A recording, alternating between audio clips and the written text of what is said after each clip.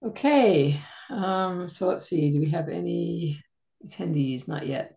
So welcome to this meeting of the Energy and Climate Action Committee in Amherst. Our mission, as always, is to find ways to advise the town around how they can uh, more quickly and effectively do an energy transition to clean energy. Um, so with that, I have to find a better way to say that. But with that, let's move on to the agenda. First item on the agenda is never on here, but it's always to figure out who's going to be the note taker. Um, so let's see who was the note taker last week.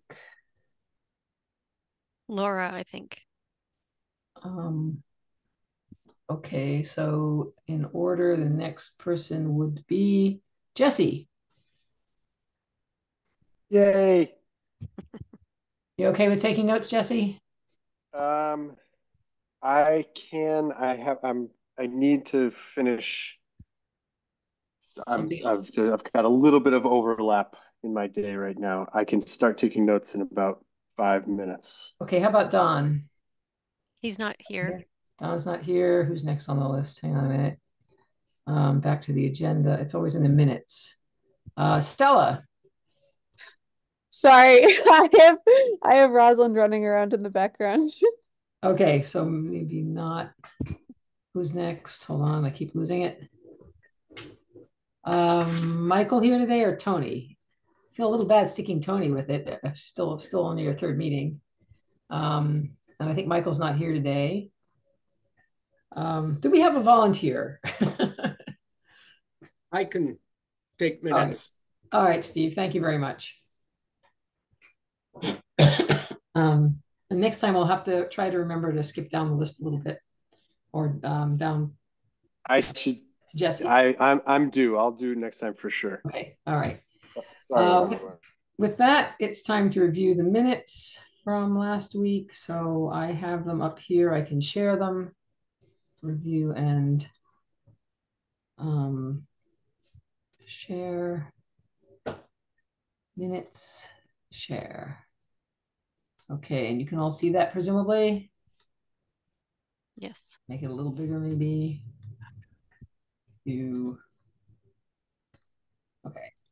So I read them very quickly. I've had a lot on my plate this week, but I didn't see any issues. Does anybody see anything they'd like to have changed? I'm going to go through them pretty quickly because we have a lot to cover today.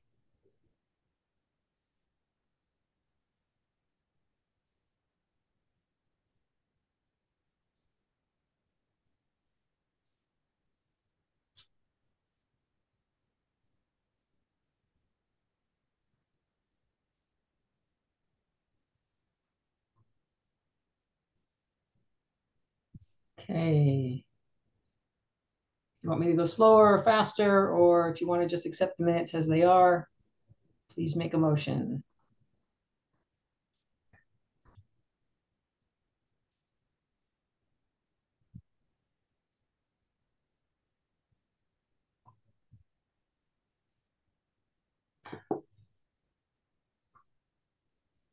Is there a motion to accept minutes?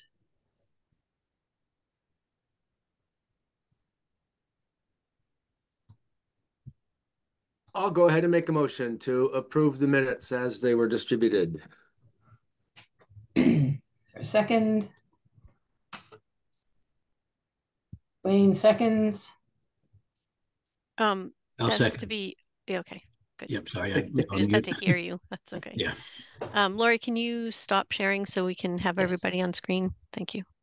Um, except that this is the second time today that the share thing has gone off the top of my screen and I can't get to it. So can you just pull it away from me, Stephanie? Try to share your screen. Hold on, let me, This is the second time today this has happened on this computer. I can't unshare.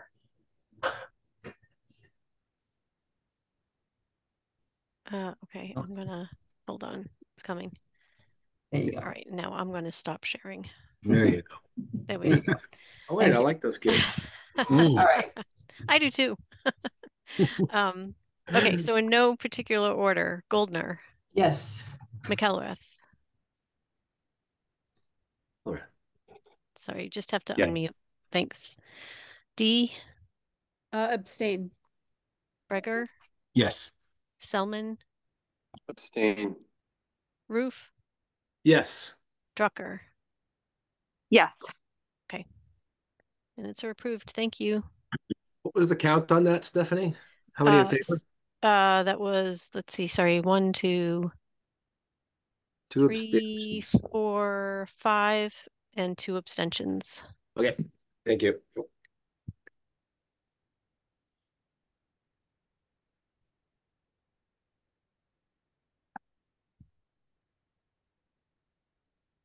Oh, you're muted, Lori.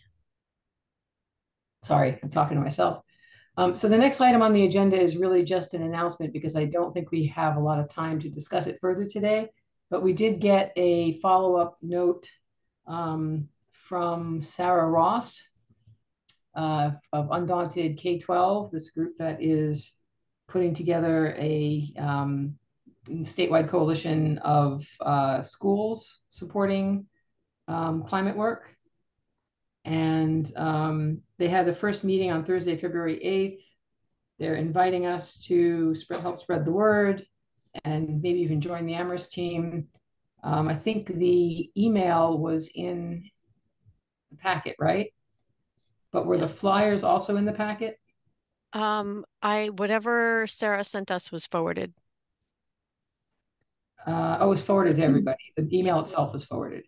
Okay, I so you should so. all have the, that information, and I think we should probably on a later date, um, maybe even at a retreat, which we need to figure out when we're gonna do that. Talk about what, if anything, we want to, how we want to interact with this new group. Um, but I wanted to just bring that to everybody's attention to make sure you all realize that we did get a follow-up from Sarah.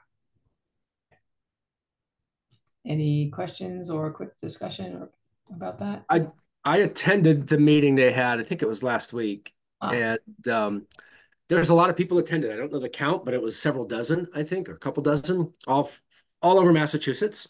And then we had a short chance for those of us out in Western Mass in the Amherst area, Pioneer Valley, I think, had a chance to talk for a short bit in a breakout group. And ma- basically, we learned about the program, learned about some initiatives, shared our emails and names and contact information, and more to come, I believe. Okay, cool. I'm glad you went, Steve. That's great. Yeah, I'm interested in that. There were, and there were some kids from the Sunrise Group, I believe from the Amherst area, that um, Mhm. said they were hoping to reach out to ECAC, and I spoke up and encouraged them to do so. So Great. maybe we'll hear from them soon. All right, so let's make sure we pencil that in for future agenda um, to follow up on that some more. Um, We could probably get uh, Sarah Ross to come back and give a better overview for this committee if we if we Yep. wish. I think that was on our uh agenda for last time. Ah. To invite, to invite Sarah and heard have her come. yeah, So- so maybe. Yeah, I would, um, I would uh, say that that would be a good next step. Okay. So we'll invite her, you know, at her convenience, but she could even be here at the next meeting if she's free then. That would be great, and we can talk about a little bit more. Um, how we can interact, brainstorm a little how we can interact. Okay, so if there's nothing more on that, I want to move to the town council liaison because we have to actually make sure we talk about that. I have to get back to uh, what's her, Lynn. uh, I lost her name, Lynn Griesemer, um, by Friday. Um, we've been asked, in the past, we've had a town council member as a liaison who tends to uh, sit in as an attendee at these meetings. Um, wait a minute, I forgot public comment You did, yes. because at first there was nobody here. So why don't I stop for a minute and go back and see if there's any public comment? My apologies. Anyone from the public who's interested in making a comment, please electronically Yeah, raise your Martha or hand. Maura, would anyone like to say something?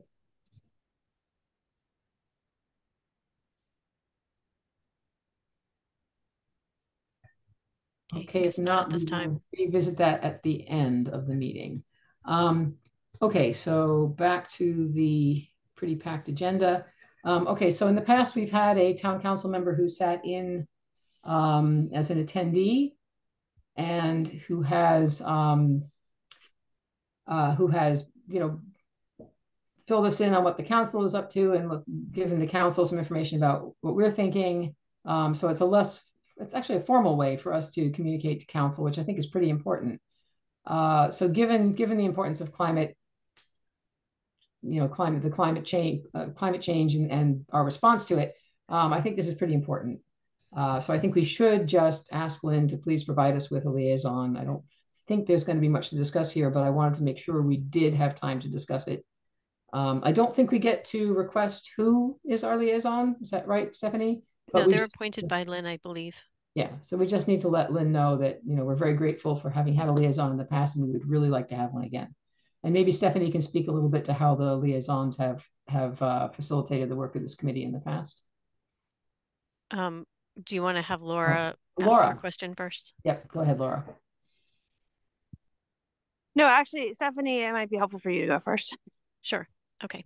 Um, so uh, the intent and and this actually used to happen even before the council convened when we actually had select board members where a member would attend um, the other committee, town committee meetings.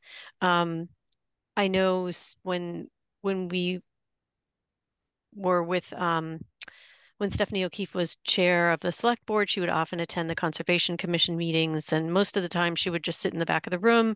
She would listen carefully, but if there was some kind of a comment or question about procedure or policy, she was always on her phone and would read off uh, regulatory guidance, um, which was really helpful. Um, and then, you know, moving forward, when we then uh, convened a town council and we had liaisons from the council, we've had varying degrees of participation from members. Um, Darcy Dumont was actually our liaison that was actually a member of the committee, um, a voting member of this committee. Um, and we had we had two actually that were appointed, and then that evolved into um, having um, representation from the council with a liaison that was not a voting member. So that evolved over time. And then last year, our liaison, uh, so then we had, I'm sorry, I shouldn't mention that we had um, Ana Devlin Gauthier, uh, who was very actively engaged and sort of worked back and forth with the committee and the council um, to sort of bring initiatives uh, on the committee's behalf to the council. And then last year we had um, Ellisha Walker was our representative who I don't think even attended a single meeting. So their participation has, um, you know, it really is very sort of particular to who was the liaison at the time, but there is I think, a very clear procedural format for what liaisons should and should not be doing. And that is why I think Lynn sent that along with the inquiry as to whether or not we want a liaison. And people should pay attention to that because, to a larger degree, um, some of what Darcy did, some of what Ana did was not necessarily adhering to the guidelines of what the liaison should be doing. Um, so I think that was kind of Lynn's you know, maybe rationale for including that with all of the committees to let people know, like, if you have a liaison, this is what they should be doing, which is basically mostly to attend and listen and be able to report back to the council, but not necessarily to be as actively engaging in the work of the committee as directly as might have been done in the past. Yeah, and I have to say, I thought Ana did a, a very nice job at exactly that. Um, Laura? Yeah, I'm sorry. I'm just gonna be on my computer in a minute, so I'll be back on camera. But um, I was gonna say basically what Stephanie said. I mean, but I think Darcy. I don't think we can lump Darcy into that category because she was not a liaison officially. She was Mhm. an She's a actually member. member of the council, uh, and there was other members in that regard too. Um, yeah, I don't think it's a bad idea to have a liaison, but like. I don't think we can count on them to always bring stuff back to the council for us if they're not gonna be engaged. So I just wanted to flag that. Yeah, I think it's important for us to continue when we have a particular issue that we want to bring to the attention of the council, that we, we communicate it to them directly. Um, further discussion?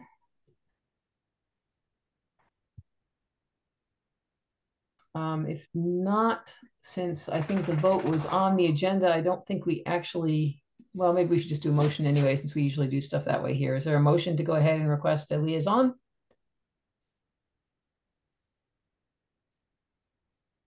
I'll push that motion Thank to you, Tony. request a liaison. Second,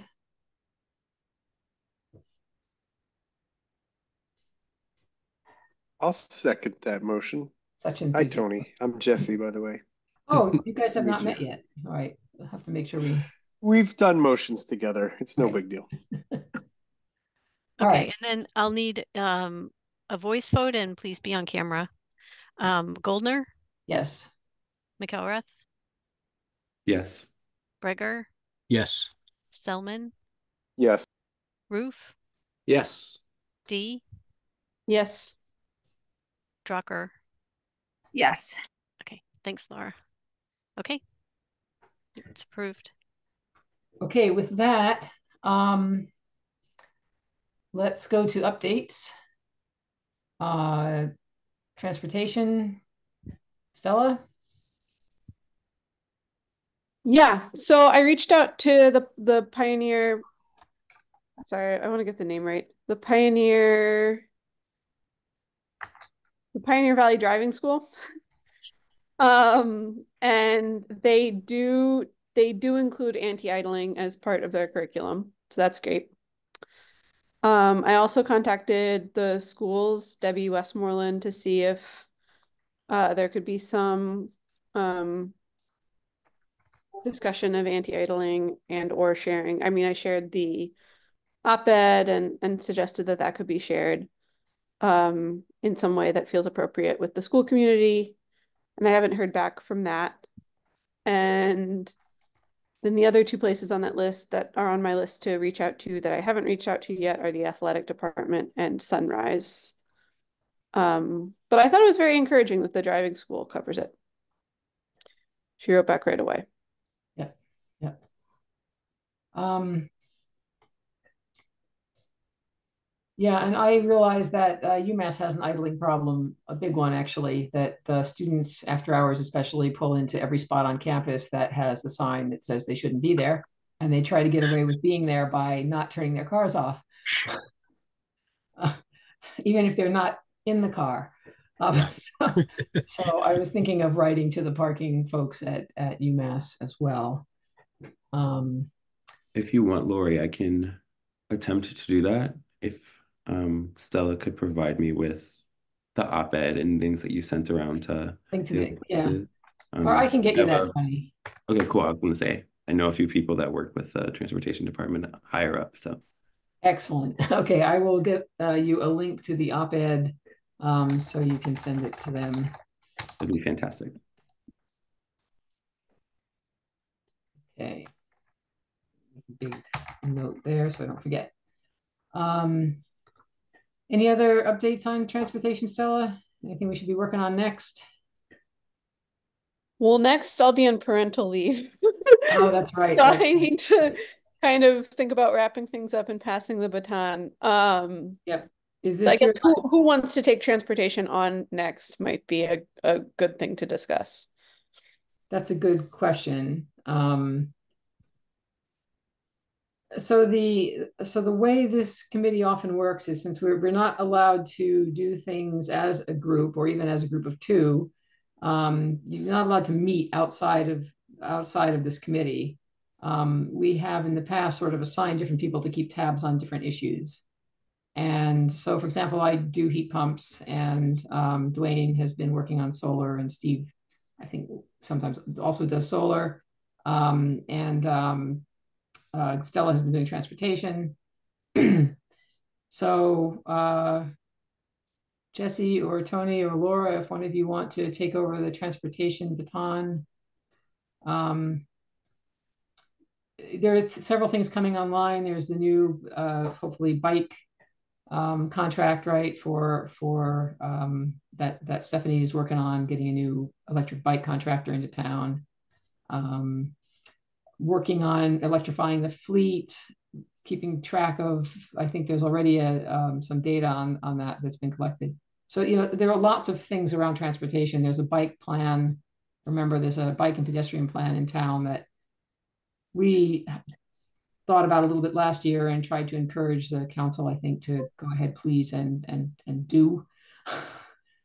Um, so there's a lot that falls under the guise of transportation to keep track of and keep pushing on. If it's in the parameters of how much time I've spent here so far, I would actually love to um, tackle that. It goes well with a lot of the things I've been researching anyway. So it'd be helpful if I could. Cool. All right, Tony. Um, so we can talk um, more more about that, or I think it's okay for. Um, so the way this works is, you know, you can send a uh, information to us, or we can send information to you, but we can't have a discussion by by email. So um, I think probably, what's the best way to pass the the, the baton, Stella? Do you want to? Do you have information and stuff you'd like to pass? Yeah, on?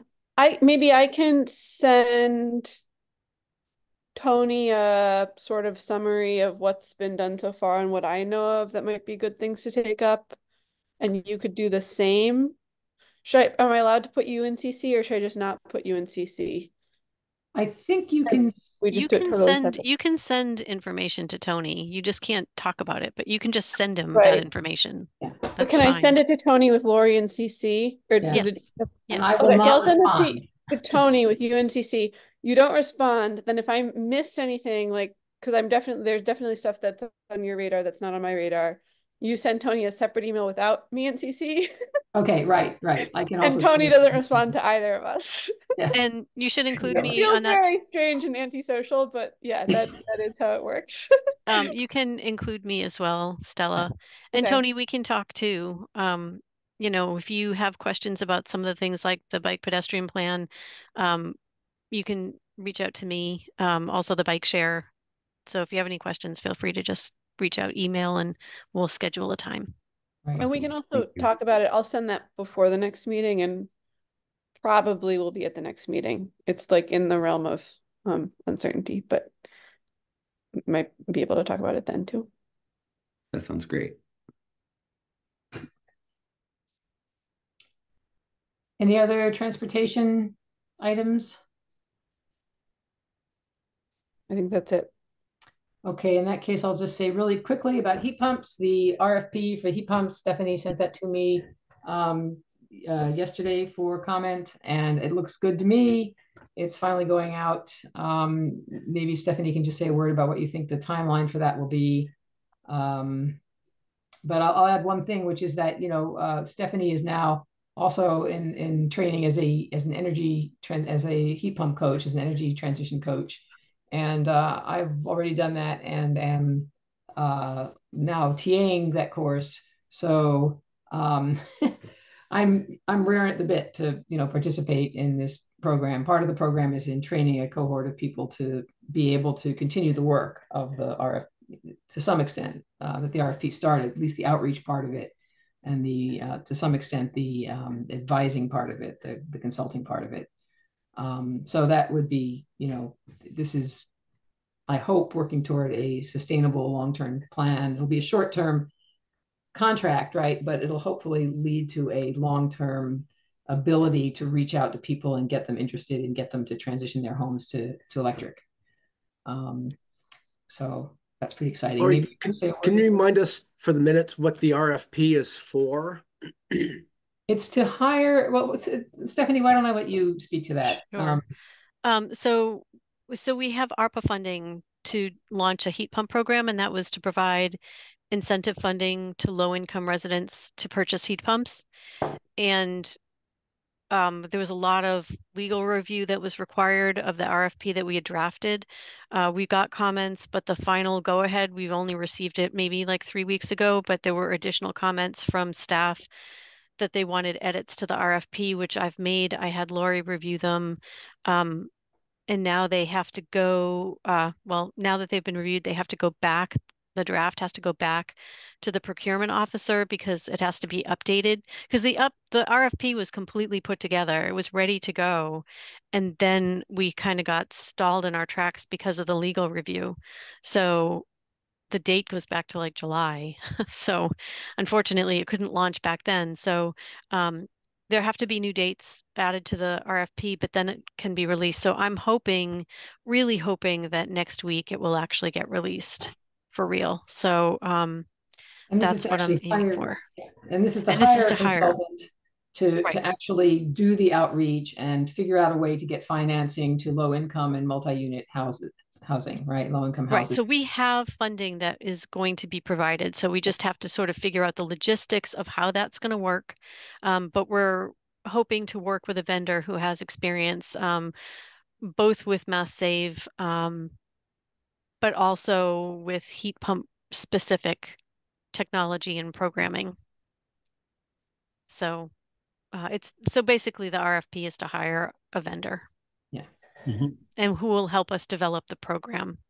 That's probably the best way to summarize that.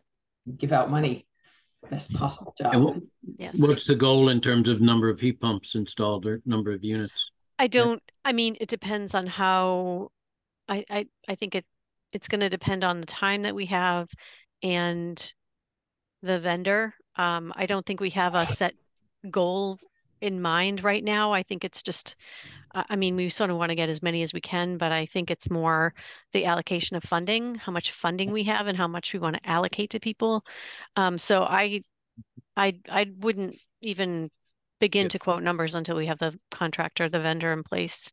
I I think that's for the response, right, to the RFP. That it Correct. better, it will be specific enough, hopefully, to tell us what they're gonna actually do and how many. Yeah, there's a request Yeah. for them to provide information about them launching a program. Yeah. Right, that's partly how we're going to review them and interview them and understand what they're proposing. So, but I don't, again, I think, you know, sometimes it's easier to quote those numbers, but I think um, the funding piece is not a small piece. Like this isn't like Solarize where we weren't dealing with providing incentive other than reduced cost for bulk purchasing. Um, there's a similar kind of approach here, but I don't know how that's going to work. It's a little more complicated because we're providing the funding for the purchasing of the equipment. So that's pretty cool and very important. And who will that vendor be working for? You said working with the town, working with us, the ECAC? Well, the town. So they, yeah. I mean, vendors don't contract with committees, they contract know. with the town. So they will work with me, but we'll certainly, I mean, Lori is very, this is, Lori is the liaison. This is sort of similar to how Dwayne worked with the solar assessment and mapping tool. Okay, Lori will be the contact for the ECAC, the liaison, and she and I will be working closely together on this program. Right. And then she'll bring the information back to you all, and you all will weigh in. I mean, I, the RFP, I think, came to you, uh, it was, it's been so long, but it, I think it did at some point, you know, Yeah. you all had a look at it, but it was a while ago.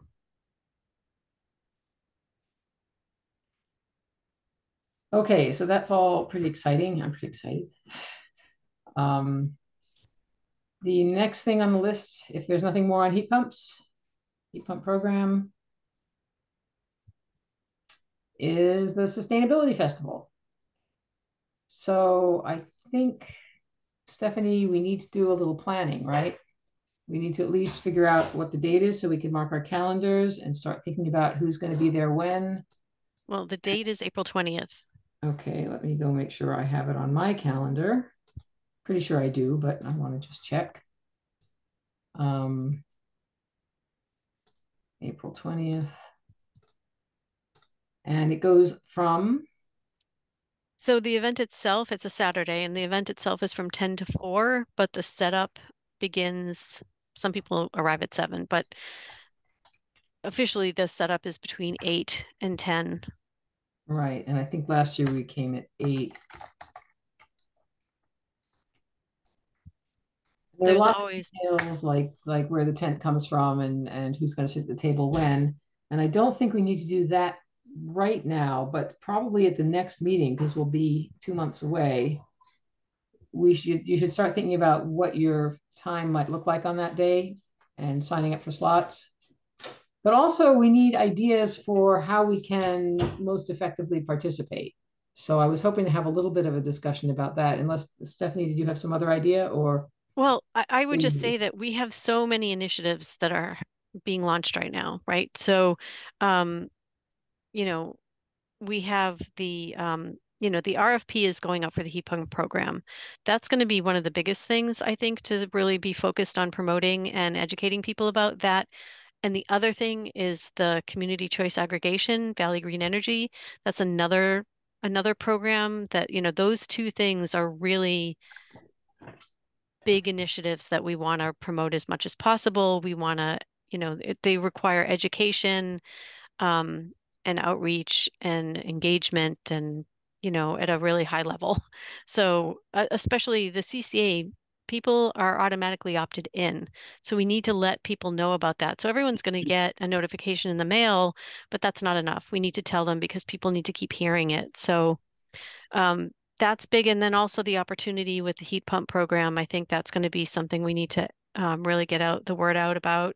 And then also the um, community dashboard. You know, we want to, uh, I was thinking it would be great to have a computer set up at your table and just like have people go through it and show them the site and, you know, maybe walk them through how to use it and um, what are the features of that tool as well. So that's is another. Cool. So those three things I think were probably a lot.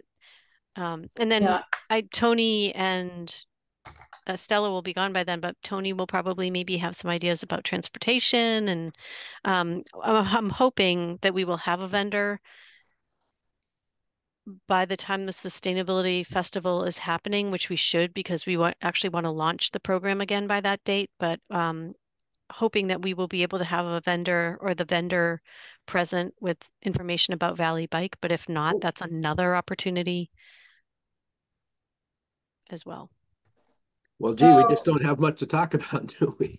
Yeah, so hopefully Valley Bike will be there. I presume that the CCA, some, there will probably be a table, but, you know, from the CCA itself, right, representing the CCA, no? Um, there, I don't know for sure. Um, that's why I'm saying, I mean, the E ECAC has been, I think, you know, kind of the the conduits really are the primary conduits for that effort.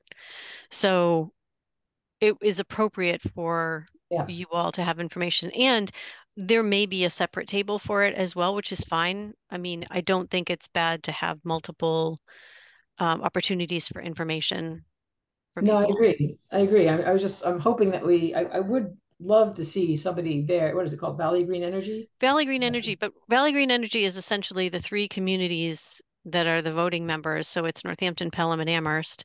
Uh, and then we have some community advocates who have been involved in the process. And whether they want to do that or not, I have no idea.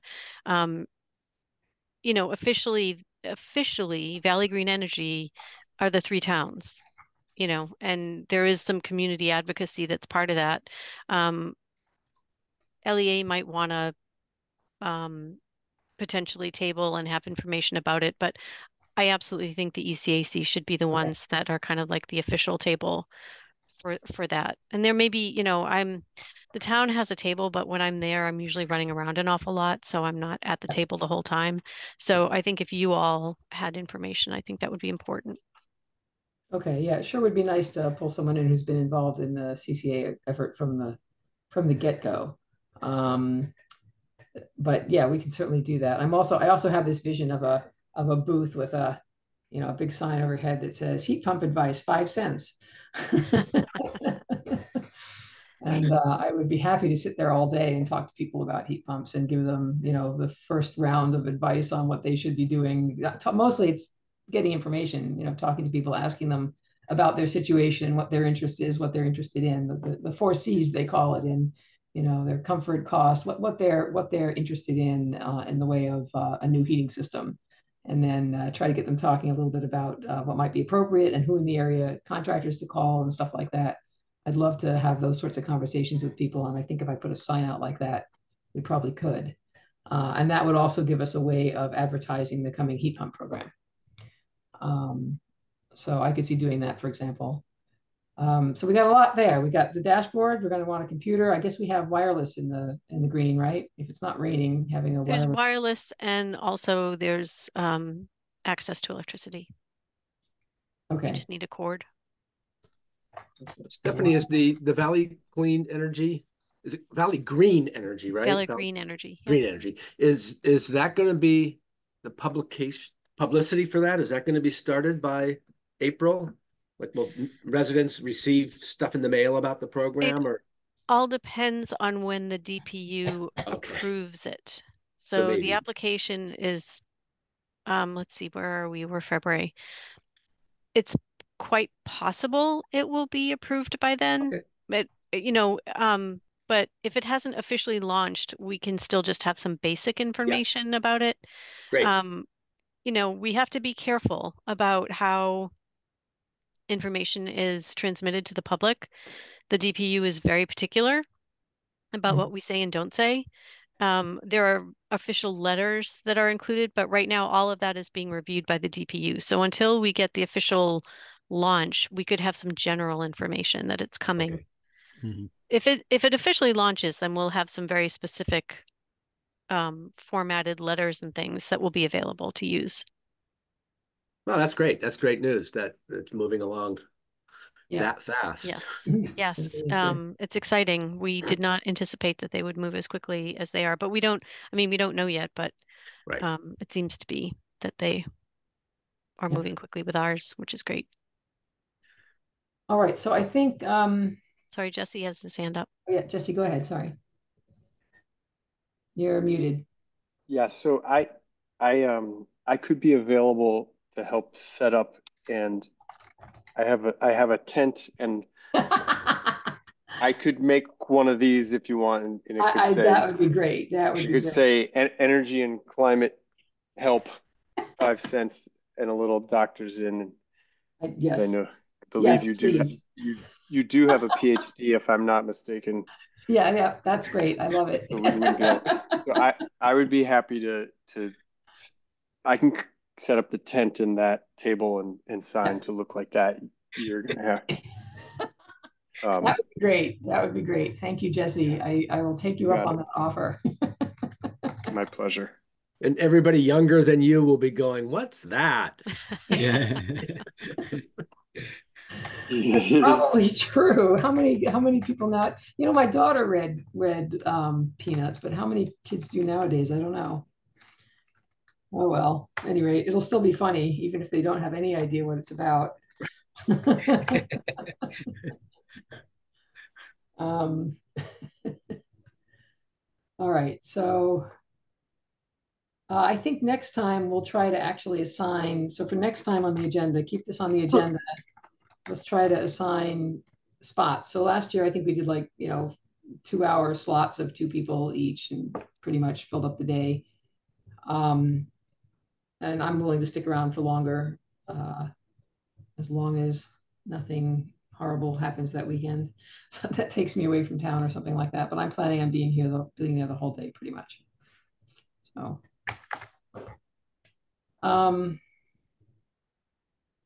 all right, any more discussion about the Sustainability Festival? Do you want to see us do anything else today, Stephanie? Oh, go ahead, Steve.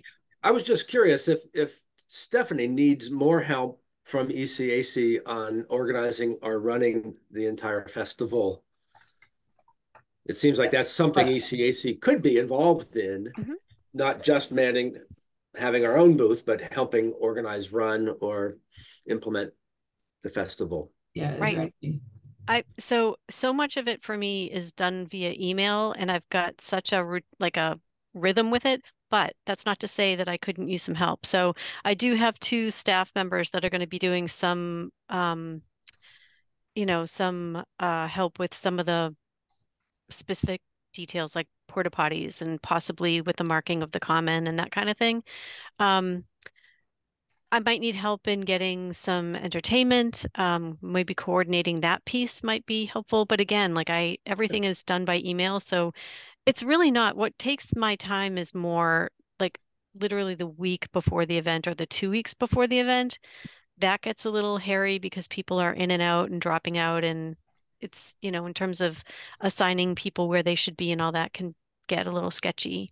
So, um, if there's something very specific, I will ask you. Like, for instance, I often have to reach out to Amherst College about the parking lot, you know, parking for vendors. I might ask for for that help this year. But I mean, again, it's an email. It doesn't, I look right. up last year's, I send it off again. So I'll let you know, but I, I think uh, honestly, it's not, It's especially now that it's um, scaled down so much more. I will let you know though for sure. Okay, yep. I'll put that in Thank the you. minutes so that you and the rest of us will remember. We may get called on to help you out. Okay, thank you, Steve. I appreciate that. I mean, what I might do is just like pick on certain people if it seems like it's something that they might be able to help with, or they have a connection with a certain person or group. Were they high school students last year who helped with the loading and unloading? They were It so was- great. They it was Amherst College, and that was the best group of students we have ever had. They were amazing, They were and amazing. Yeah, they are were great. football players because Angela Mills, who is the executive assistant to the town manager's husband, is the coach of the Amherst College Ah, football team. Cool. And so they he was there as well, and Angela was there, and they did an amazing job helping out. And Angela and I spoke already, and she's going to get them on it again this year. So Oh, incredible. They were incredible. they were amazing, like Mm. Just amazing. They made everything go so smoothly. It was wonderful. So yeah, and we'll have They're them back again this year. my- They were pulling things out of my trunk before I needed them pulled out, before I knew I Yeah. needed them pulled out. Yeah, they were great. They were really great. They're really on the, on the wall. Okay. Um, next thing on the table, anything else for this festival for today? Is there anything else we should cover, Stephanie, or? I don't think so. Just the date, which is again April 20th from 10 to 4. Okay, and Don LaRufa just joined us. Is that? our Yes, and Adam, Sport? they are our presenters from Revision, Sunbug slash Revision. And Adam, there you are. Okay, good. So let's give Yeah. that a few more minutes. Um, uh, so Adam and, and, uh, and Don, welcome. Um, we're Thank you for finishing, up having the- yeah, we're just finishing up the ECAC meeting now, and you will start right on time at five thirty. So, um, uh, next thing on the agenda, if there's nothing else for the Sustainability Festival, is the ECAC retreat. There's a lot going on, but there's always the question of what should we focus our efforts on and how are we going to go about doing it. And it's useful now that we have new members to plan a retreat sometime. I think maybe for today, we should maybe try to narrow down to a few dates. Are there days that folks would like to propose for doing this? Do we usually do it on a Wednesday at the same time? Oh, Stephanie, go ahead. Yeah. Sorry, just one thing I wanted to say is that when you have the retreat, technically it's um a, pu- it's public. It has to be posted publicly. Um, and I I'm I sort of recalling that the last one we did was actually virtual. I can't recall if it was Yeah. if anyone else remembers that. Um, but you could do it virtually or you can actually do it physically. It just has to be posted. Okay, so So you can meet in person. Is there any difference between a retreat and a regular meeting then? Um, I mean, yes, in that it's a very specifically focused on planning. Um, you're not, um, you know, and there's a, it's can be longer, you know, sometimes it's longer. Um, it's more of a casual, you could have a potluck. It's, you know, it's more of a bonding opportunity. It's a, it's different than just a regular meeting. Like yeah, there isn't public comment. Um, your agenda is very specific to the work that you all want to sort of focus on. So, um, but I just wanted to say that up front. Uh, so when you're thinking about dates, you also may want to determine whether you want to do it virtually or in person, in which case then I have to find a room for you to meet in. Right. So are there, did- go ahead. We did do it one, one year, we did something one year at the South Yeah, Amherst, what, was it the library? Is it- Munson, Is that Munson Munson Library? Yeah. That was your, that was when the ECAC very first Yeah. got together, convened That- way in the beginning. That's a good, that's a good room, in my opinion, for a Mm-hmm. group this size. It's plenty of space. Um, simple, it's easy to get to, it's accessible, the town owns it. Um, I, I would make a vote for, for that if it's possible. I think it'd be, I think it'd be nice. That sounds good to me. Any other, I, I think having something in person would be great. And when you say you have to post it, you mean that people can come and listen to the retreat the same way they would for, a- okay. Yes. Um, Um, and also, um, you can do it on a week, you know, you could do it on a Saturday. You don't have to, it doesn't have to be your regularly scheduled meeting time. In fact, I would recommend against doing it at your regularly scheduled meeting time, or if you do, make it in lieu of a regular meeting, obviously. Any thoughts on that, on timing?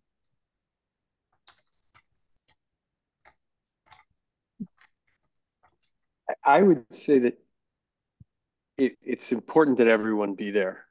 And as someone that I'm pretty sure I missed the last one, um, I, I think if we can have it so that everyone's there, I think that's also really great. And therefore, using that Wednesday slot will potentially increase the chances of everyone being able to be there. Um, just eliminating a meeting and, and taking those two hours I in a send a slightly doodle. different way. Sorry, I could send a doodle poll. Yeah, That would be great. Um, for upcoming Wednesdays only, it's, what do people think about doing it on a Wednesday evening in lieu of a regular meeting? How about I just put some dates out there? Yeah. I mean, for me, different it- yeah, it's just weekends are harder to um know far in advance of whether you're gonna be around or not.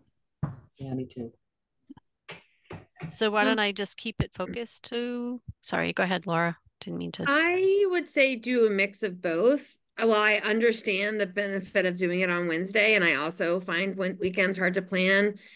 I am also tired on Wednesday afternoons and not in a mindset of like forward thinking and being creative about how we want to focus our time. So Mhm. I think it would be, I agree with Jesse. We should try to find a time most people would meet. I also would really love for us to meet in person.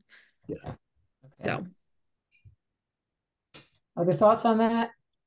Is it, is it uh, consensus that we meet in person or is it, would anyone rather meet virtually? I agree. Meeting in person would be a lot nicer. Yeah. I Fully agree on that, yeah. And I think a time when we're not tired would be great too. So I'd like to meet in 1994. Um, I feel like this is the last time I. For- I was not even born yet. Uh-oh. I was five. And probably wasn't tired. You'd have plenty of energy. Yeah. Um, so other than a Wednesday, should we try for earlier on a Wednesday? Are we thinking that? No, no, definitely no, because we have to work. So, um, why don't we, is there anyone who's still, I mean, obviously, I think, I think I'm always more awake on weekends, but I'm also less likely to be available on weekends, so um, maybe we can try, do you want to try a mix of, is there anyone interested in us trying a mix of Saturdays and Wednesdays on this doodle poll? Yeah, okay, Um, okay, so I, I will do a mix of um, weekend uh, dates and times and evenings, okay, and also stick to time Wednesday. block Wednesdays. Yeah, So just Wednesday Wednesday. evenings. All right, and That- then some time weekends. know. All right. And then time frame, do we want a three hour meeting, maybe with like a break in between? Yeah, let's schedule for three hours and then um if we need less, we need less. If we, you know, more than that, I don't think I don't think anyone's gonna be up for. Okay. All right. Do we have a sense of what topics we will want to discuss at such a retreat? You can put this on the agenda for the next Yes. meeting Okay. and Good I discuss think that's, I think that's something, planning, you know, yeah. continue the planning. right. Just wanted to get started on it this time. So that's agenda for next time.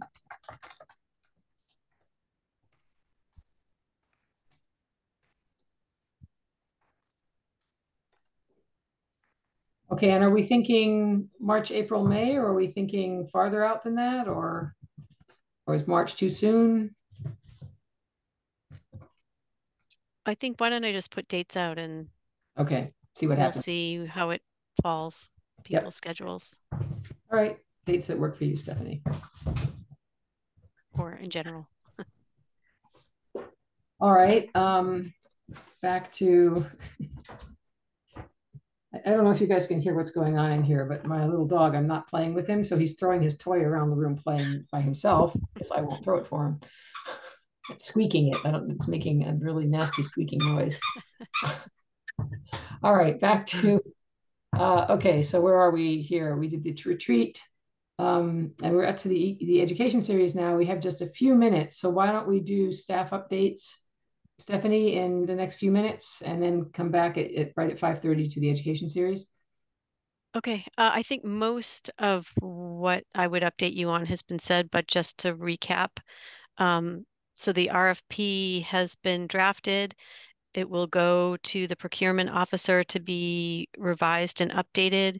Hopefully, it will be released next week.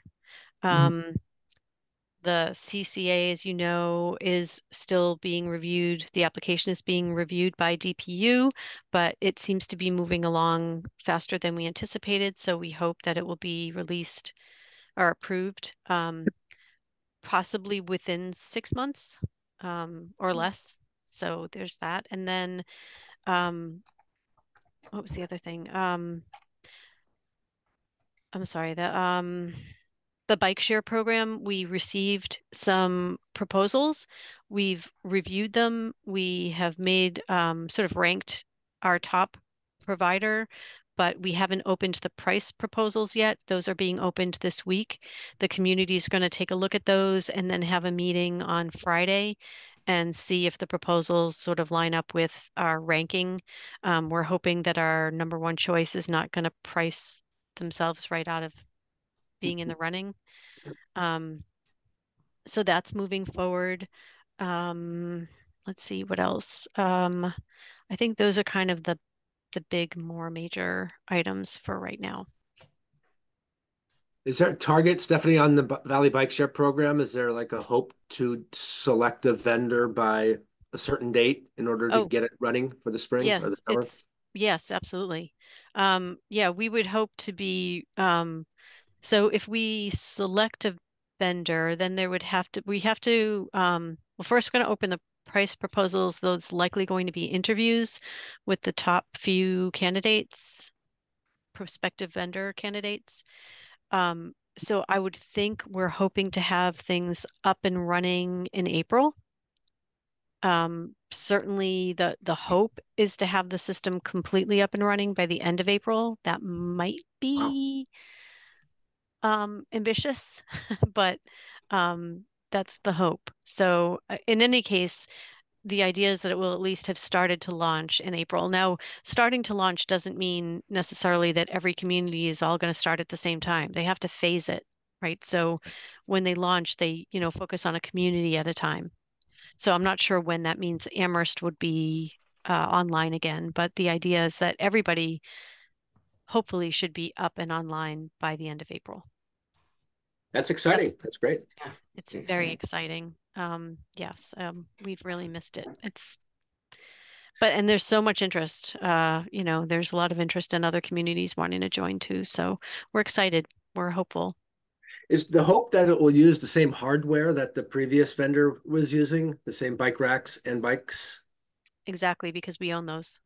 Okay, We, Okay. that's, that was part of the proposal was that the, whoever the vendor is would be able to integrate the existing um, hardware and software.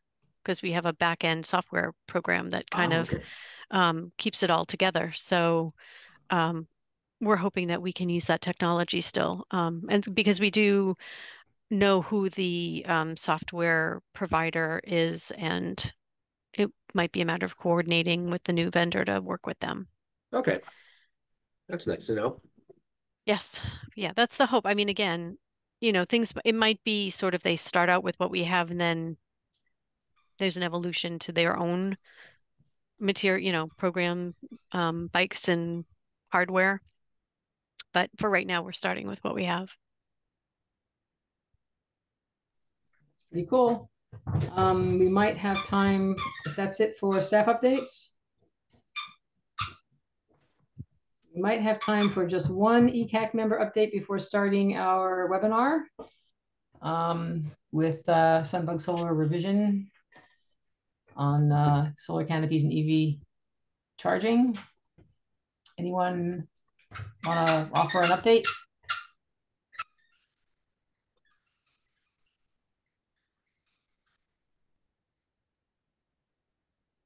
We can come back to it afterwards if not, and then afterwards we'll continue the agenda um, with, uh, we've been sort of keeping items for the next meeting agenda as we go. And uh, we'll have public comment after the Sunbug presentation before we adjourn. Um, so I do have one thing I want to just bring up as an update. Uh, one of the things that's come up here several times is the fact that an awful lot of folks are taking out trees uh, in their little in, in neighborhoods in Amherst to put up solar. And the question has come up, well, how bad is that? You know, if you're taking out one tree, it's probably not so bad. If you're taking out a small forest, um, you know, and changing the character of a neighborhood, maybe that's not so great. So I started looking around a little bit and had Energy Sage send me a bunch of quotes.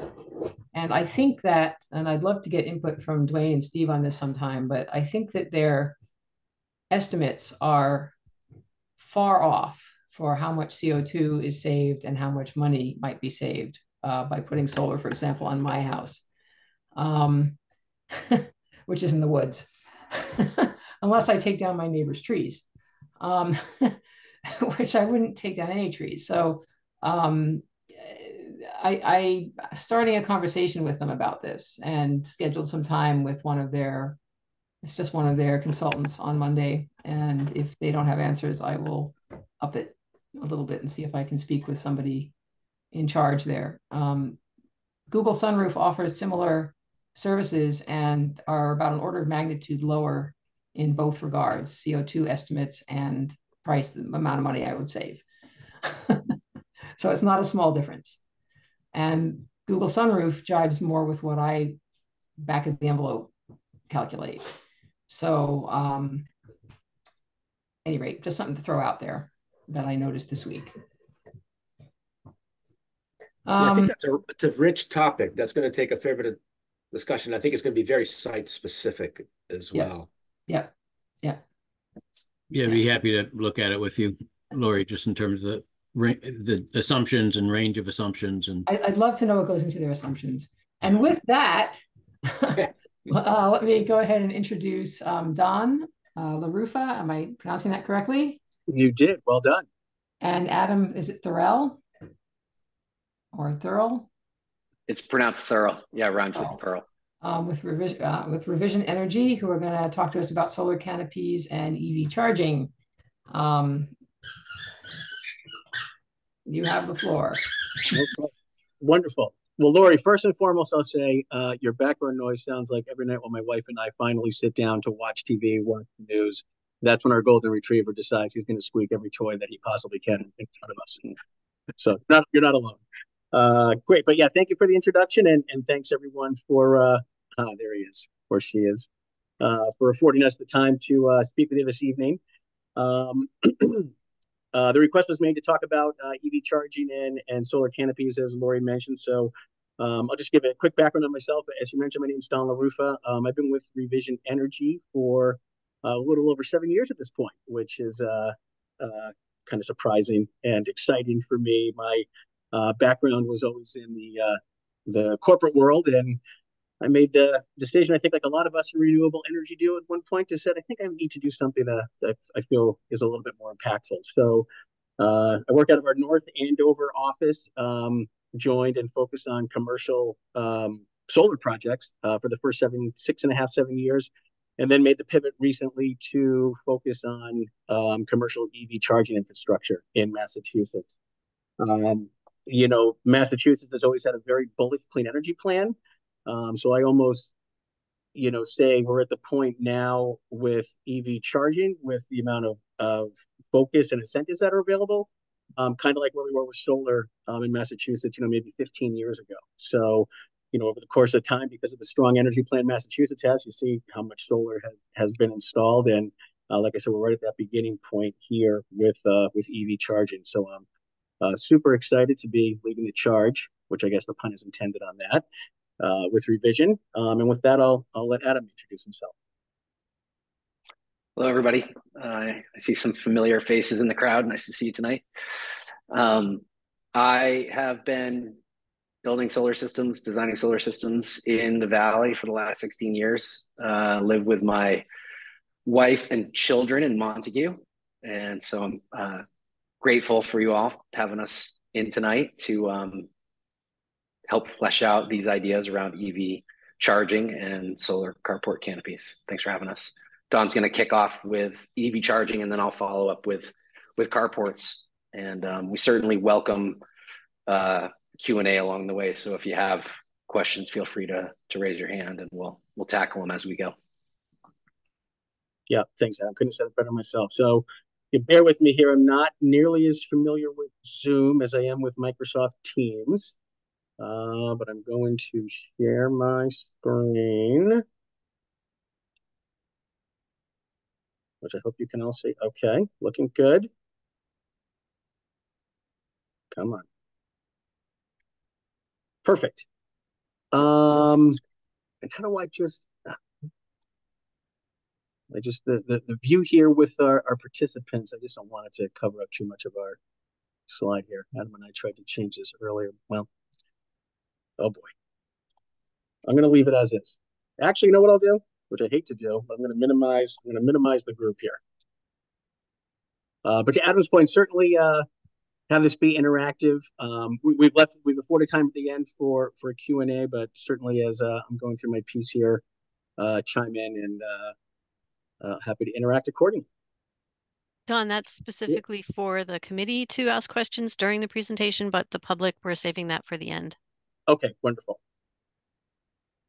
Great. Uh, so yeah, like I said, I'm going to start out talking about EV charging here. Thanks again. Um, when, you know, part of my, my, my presentation will, you know, kind of cover um, electric vehicles in general. We'll talk a lot about uh, the technology, and then more importantly, the way that vehicles can interact um, to the grid and, and other devices uh, differently than you would think with a traditional vehicle. So, you know, some of the, the benefits of, of, of electrified transportation, um, and you know, it's it's funny. I'm sure I'm assuming there's a, a number of electric vehicle drivers on the call today, uh, which is great. And it, it's funny if, if you EV drivers love to talk about, you know, the the, the difference in the benefits uh, of EV uh, of driving an EV, and and a lot of that's different for you know some different individuals. So, you know, overall, you'll a common thread as you'll hear it's it's just a better driving experience, um, and whether that means it's you know the vehicle is is quiet, uh, doesn't have any engine noise or uh, as much road noise to contend with. Um, you know, one of my colleagues is from the UK. Um, he's a big Formula One fan. So he always talks about the performance of electric vehicles and, you know, like kind of how quick off the line they are and the way that they handle and um, just the way uh, uh, speed seems different without gearing. Um, but naturally, there's, you know, the, the reduction in greenhouse gas and emissions that everyone always feels good about. And uh, certainly a lot less uh, maintenance that's required compared to a, a traditional gas vehicle, um, whether, you know, we're talking about oil changes or uh, fluids that need to be um, you know maintained and, and changed.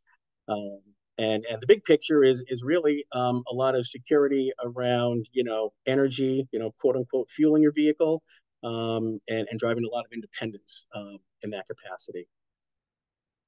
So the next uh, picture and slide here just talks a little bit about you know uh, where we are today with vehicles. And um, you know certainly technology changes quickly um, as we all very know. And and it wasn't uh, too long ago you know, part of the conversation around electric vehicles was, you know, well, you know, you know, how far can you go in the car? You know, what type of what type of range does, does the battery have? And you know, it's super exciting to to see today that uh, there's at least a dozen, you know, vehicle models from various manufacturers that uh, all boast a, a, range of, you know, 250 miles per more uh, or more per charge. So, you know, the norm has certainly changed uh, with with the vehicles themselves, um, and that's cascading, you know, globally. I mean, we're at the point now that in 2023, uh, one in five EVs, or I'm sorry, one in five vehicles that were sold globally uh, were full plug-in electric vehicles. Um, you know, national, uh, a little closer to home here in the United States, uh, in 2023, there were uh, nearly 2.5 million um, EVs registered and, you know, Massachusetts, California leads the charge, which California typically does with, uh, you know, green and clean technologies. But uh, Massachusetts certainly won't be be far behind. I mean, part of that you know, bullish energy plan I, I referenced earlier, uh, you know, Governor Baker uh, uh, signed in that uh, by the year 2035, um, any new vehicle that's going to be sold in Massachusetts will be electric. You know, there's essentially there will be a ban on uh, gas-powered vehicles. So, you know, again, technology changes quickly, and if you think uh, about 2035, that's not that far away. That we'll be in a, you know, nearly a full electric vehicle world um, when it comes to new vehicles. Um, even as it stands today, again, as I talked about how you know technology has changed, and you know outside the scope of uh, you know passenger vehicles, uh, there's a number of advancements that have been made for uh, you know fleet vehicles, public transportation. This is a, a photo, obviously, here of a electric school bus. Um, uh, the city uh, Concord has uh, deployed uh, part of their fleet to electric school buses. Um, I, I, live in Newburyport, and, Beverly's fairly close to home here. Beverly's nearly 100% um, electric bus for their fleet of school vehicles.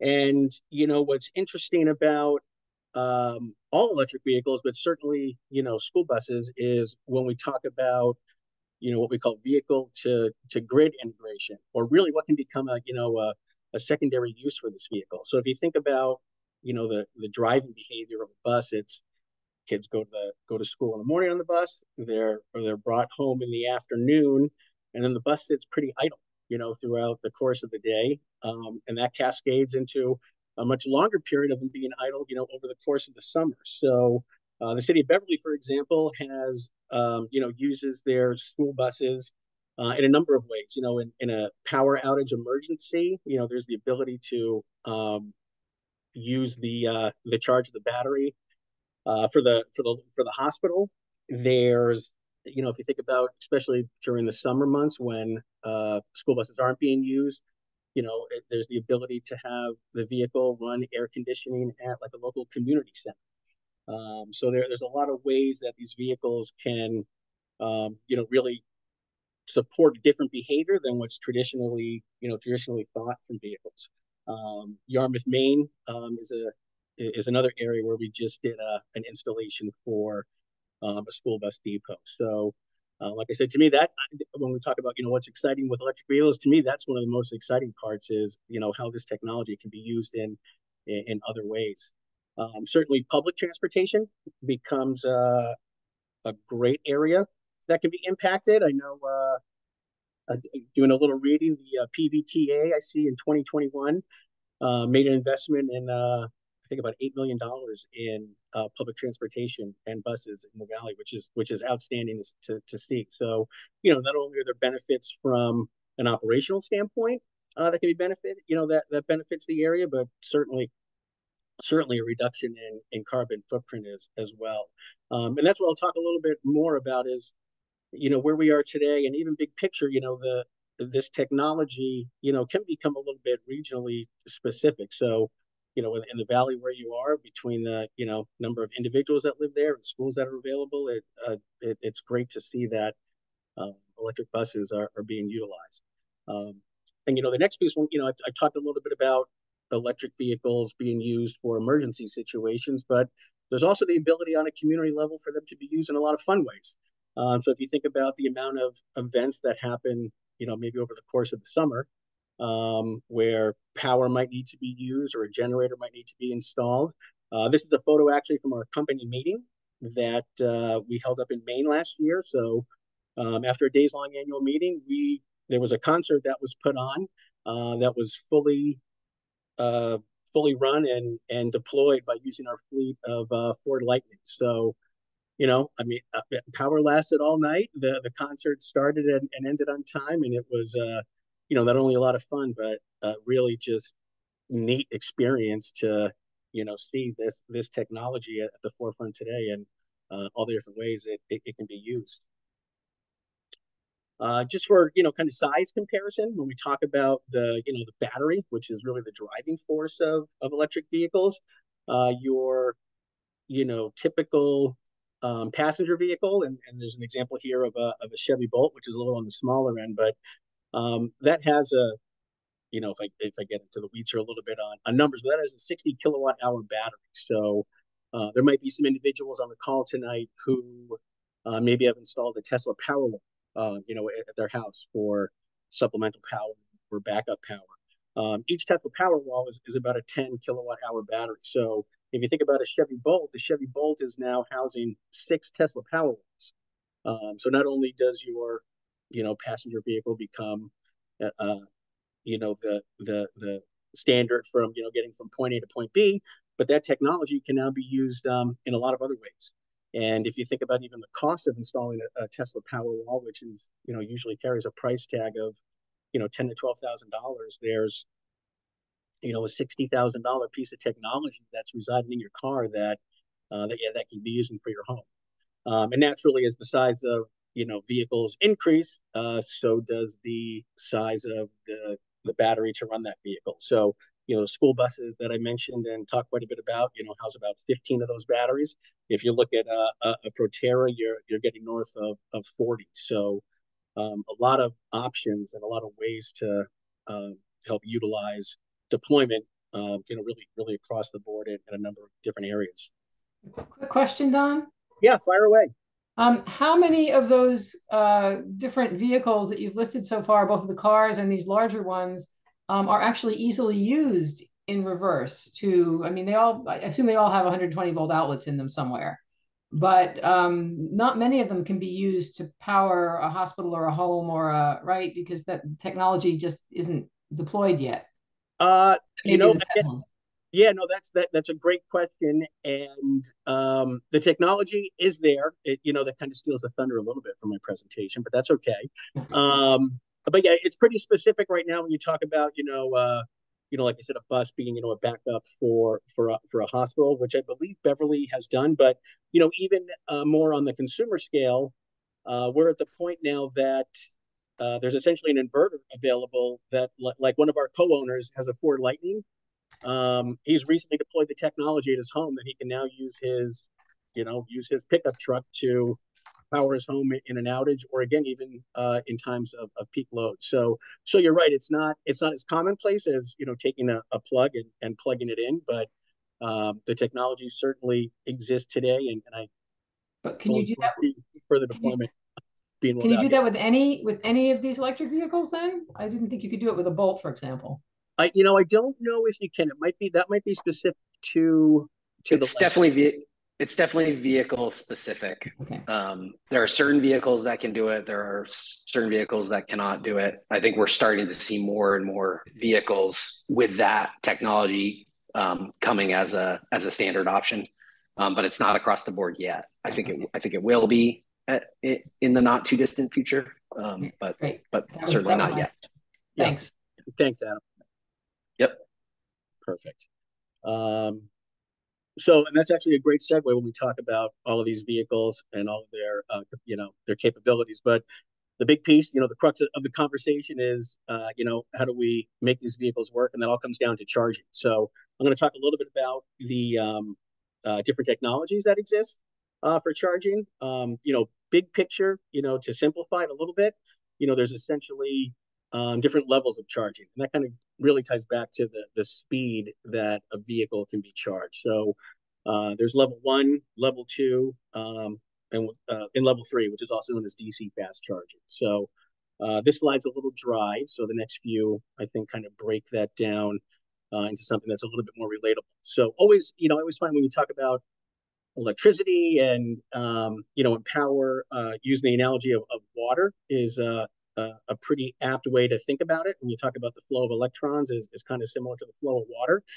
So uh, this first example here is shows you what a, a level one charger uh, looks like. Uh, essentially, every electric vehicle from the dealer is going to come with with a level one charger. Um, it's not a very fast way to charge, you know, kind of like my little friend here drinking from uh, from a water fountain on a hot day. Um, but you know some of the benefits it's it's really easy to use um, essentially it just plugs into you know your standard wall outlet. So uh, there isn't the cost of you know doing any electrical upgrades at, at your home uh, but again the, the speed of it overall is, is pretty slow. It's going to recharge your vehicle at about three to five miles per hour. So if you think about the range as i talked about on you know most vehicles today it's you know it's, it's up to like two days to uh to to charge a vehicle. But um, you know, at the end of the day, it's a great, simple option that that can be used pretty much anywhere. Uh, the next piece or the next uh, level would be a, a level two charging.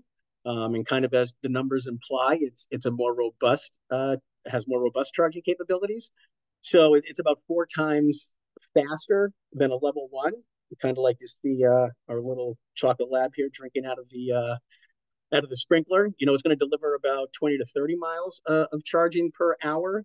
Um, it does require um, a little bit more robust installation.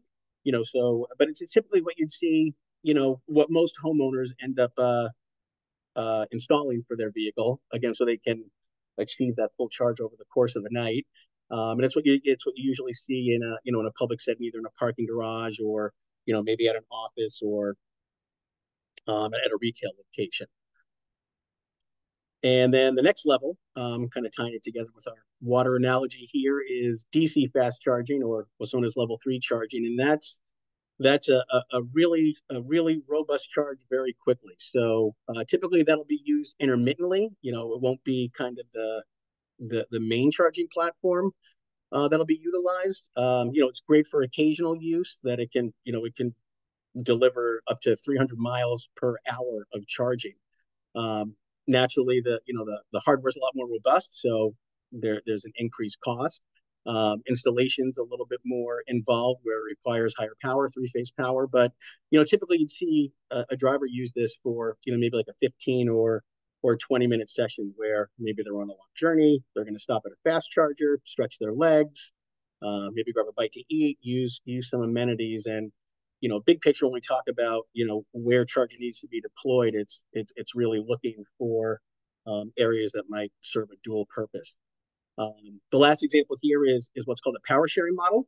So basically, that it gives the ability of the the charging cluster to be you know a little bit more fluid and elastic to adjust um, charging based on how many vehicles are there essentially. Meaning, you know, in this example here of this cluster of Tesla chargers. You know, if one vehicle is plugged in uh, to charge, it'll be able to derive all the power that's available and, and charge very quickly. Um, as more vehicles show up, uh, basically the amount of electricity or, you know, again, water um, could be distributed evenly across those vehicles. So it'll take a little bit longer for them to charge, uh, but everyone's going to receive the same amount of power. So um, it's a great way, like I said, for, you know, individuals and the vehicles to interact in a more kind of fluid and elastic way, and for the the technology to to adjust accordingly for a you know for a, a better experience. Um, as we talk about, you know, talk a little bit about you know um, where most charging happens. Um, this this diagram here just really you know talks about two you know the first point being that most people are going to do a bulk of their charging at you know at home over the course of over the course of the night um, and I know we do, you know, live in a much more virtual world uh, than we than we have in the past. Case in point, our, our meeting this evening. Uh, but usually, the second area where people spend the most amount of their time is, you know, is at work um, or at their office during the, the, the course of the day. So uh, that, you know, workplace charging offers a, a really unique kind of sweet spot in the deployment of charging at this point from you know, from a couple of different avenues. Um, like I said, number one, it's the it's the second longest place a vehicle usually sits, so it only makes sense to have that charging happen uh, during that time. Um, but there's a lot of different, um, you know, technology options.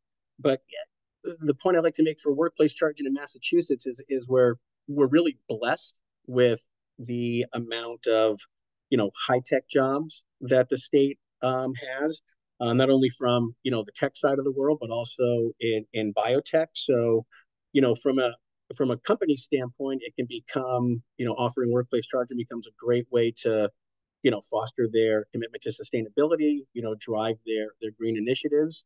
Uh, but even when a business looks at you know kind of the the, the human resources side of the house, um, it becomes a great way to offer you know an additional benefit um, to their employees, uh, which can even you know cascade as, as we talk about the you know the, the, the employee side of the house you know a lot of employers strive to to get a competitive edge in in such a competitive um, you know hiring out there and and really foster you know what's called an employer of choice environment so you know by by making the investment um, and offering this benefit can be a great way for them to, you know, not only attract but really, you know, retain top talent in um, in their industry.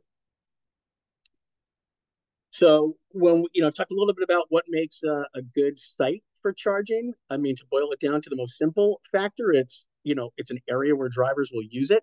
Um, so, like I said, you'll see a lot of uh, focus on you know heavily traffic corridors at this point. Uh, but you know, coupling that with um, an environment where you know it can kind of be dual purpose, you know, makes a lot of sense. So, you know, I, I in, in addition to workplace charging, hospitality seems to be a you know a, a really great fit for um, those organizations to make that investment to offer that amenity to you know to their patrons. Uh, but even if you think about your day-to-day activities, you know, any establish, you know, retail establishments, you know, restaurants are great. Uh, you know, I know I if, if I'm going to go food shopping and there's the option of going food shopping where there's the ability to charge my vehicle versus not, uh, I lean a lot he more heavily towards the area where I can get some some charging done. Um, and again, there, there's benefits on, on the retail side as well. LL Bean in in Maine is a uh, a project that we did a, a, handful of years ago, and they were really excited um, just to be able to, you know, offer that to individuals that are coming to the shore, coming to their store, um, and not only as a way to, you know, attract EV drivers, but you know, as a way to maybe increase what they, how much time they spend in the store, and and you know, the impact that that makes in their business. So, you know, again, it's it, it's it's great that there's the ability to, you know, not look at the traditional you know, site options that you would look at for like a gas station where there's more increased, you know, there's increased um, uh, means necessary from, you know, a site, you know, the site standpoint, the type of work that needs to be done, what type of uh, uh, equipment needs to be put in the ground. You know, like I said, anywhere that a light can be turned on becomes a great option for a, a vehicle to be charged. But then again, coupling that um, so it, it really complements the driver's behavior uh, seems to be the, the, the smart approach. Um, certainly, all of this uh, deployment comes at a price, and and like I said, where I feel like where we were about 15 years ago with with solar, we're we're kind of at the point today where, you know, there's a, a number of funding options available to uh, support the deployment of, of this infrastructure. So um, and I'll, I'll walk through that in a little bit more detail. But essentially, there's there's federal funding that was derived from the uh, the Inflation Reduction Act uh, last year. Uh, state of Massachusetts has a program called Mass EVIP, um, and the biggest uh, impact that's been made within the last year is from the utility companies through uh, programs that they have called Make Ready, which I'll go into some more detail on. Um, and locally, or I shouldn't say more lo more locally, um, through you know, throughout the state, there's a number of municipal light departments. They uh, typically all have uh, some sort of incentive that they offer for electric vehicle charging to be to be installed as well. So specifically for uh, Massachusetts, I mentioned um, the electric vehicle incentive program, which is uh, the creative name for the Mass EVIP plan.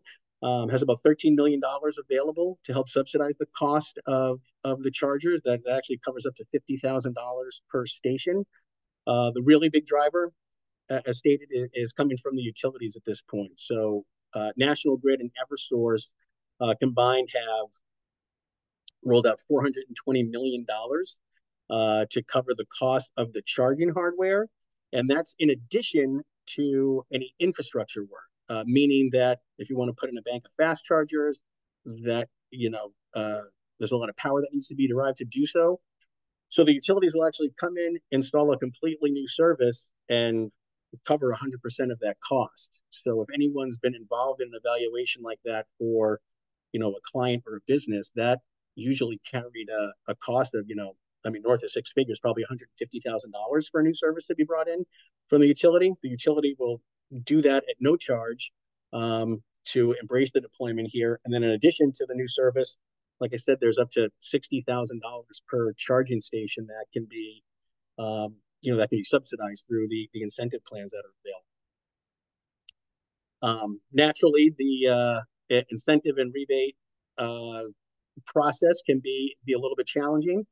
Um, this next slide just gives you a quick example of that. This is this was actually taken from um, Eversource's Make Ready plan, where a uh, a certified installer, um, actually for Eversource and for National Grid. But in one of their deployment uh, meetings that we attended, this is literally the workflow to you know to realize funding from that. So uh, the point I just always put out there, it's uh, you know there's a lot of funding available, which is great, uh, but it's it's really important to you know have a, a partner on a project who can help navigate that because it's certainly not easy.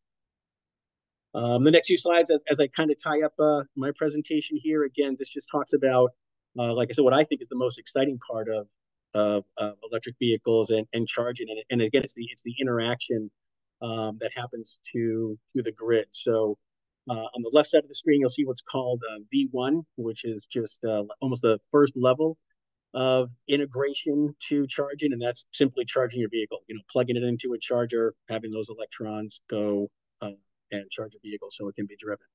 Um, like I said, the more interesting parts of, of, what we'll we'll see in the future is is the bottom piece, uh, which is vehicle to grid integration, and that's again, you know, utilizing these smart controls to um, either act as you know emergency backup or again can even be used for times to uh, deploy power from vehicles uh, during types of, uh, of peak demand.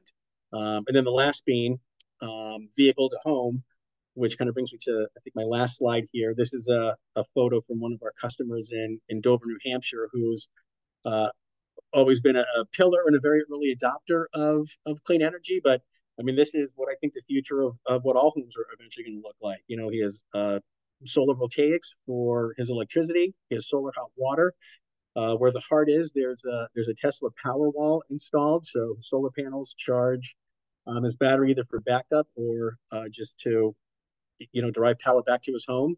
Um, he drives an electric vehicle, and you know, again, as I mentioned, um, the technology we're on the cusp of the um, you know, bi-directional charging and having your vehicle be able to, you know, to power power your home or business. And boy, I feel like I did a lot of talking here. Uh, but with that, I will turn the presentation over here to Adam to talk about carports, unless there's any, well, again, we can save, save questions to the end.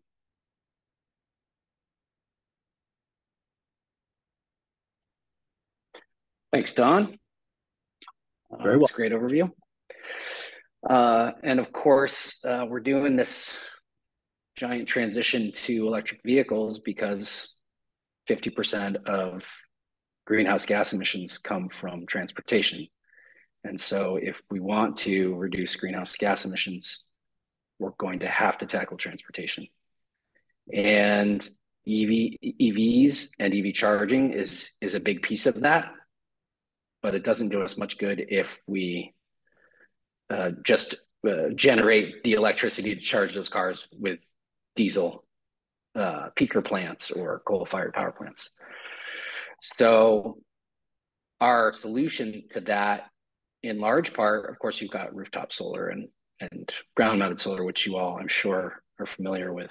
Hmm. Um, but we've we've got uh, solar carports uh, that we like to uh, install in um, collaboration with the EV chargers that we, the EV charging network that we're building out as well. Uh, not just environmental reasons to to build carports, though. There's a certain uh, increase in business income that can be expected with the installation of a carport. Uh, municipalities and businesses and nonprofits have enjoyed significant returns on investment from building solar carports and it makes them uh, that much more of an appealing choice for fueling your EV charging network.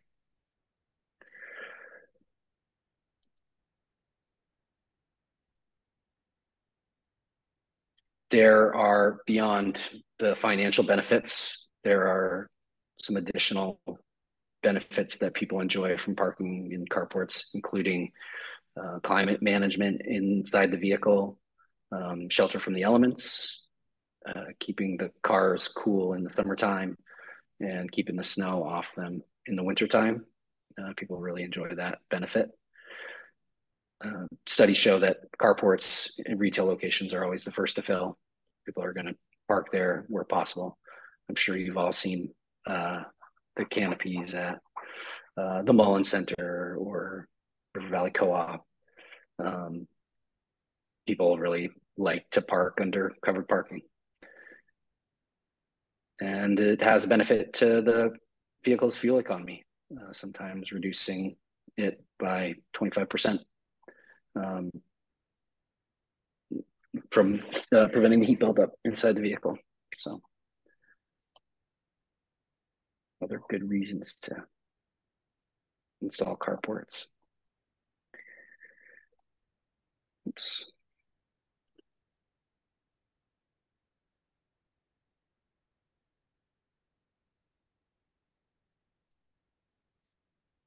So um, the the the real benefit of solar carports is really the the dual use aspect. You've got parking lots that are going to be there. You you've committed to that, providing parking to to people, um, and there's essentially it's essentially wasted space to not cover that with with solar. Um, you compare that to you know cutting down a forest to to put in a ground mounted solar system, or taking up arable agricultural land to to put in a ground mounted solar system, and there's real benefits to leaving the leaving the farmland, leaving the forests, allowing them to do their piece of the carbon sequestration puzzle and using those asphalt parking lots that are going to be there anyway and using them for uh, energy generation as well. Um, you can fit a lot more solar panels on uh, on a uh, covered parking lot, and you end up reducing the maintenance of the of the asphalt because you're preventing all that UV from hitting the surface and degrading it prematurely. Get into the different design options that you can choose with carports. The first one is a a T-shape uh, cantilever style that essentially has the posts run down the middle strip of uh, uh, two parking spot wide car aisle and then covers the, the two parking spots. It has a single tilt typically towards the south, but can also be oriented toward the east and west without much um, decline in production as long as it's relatively unshaded. Second type is a V shape. Um, this helps in our location to deal with the snow a bit.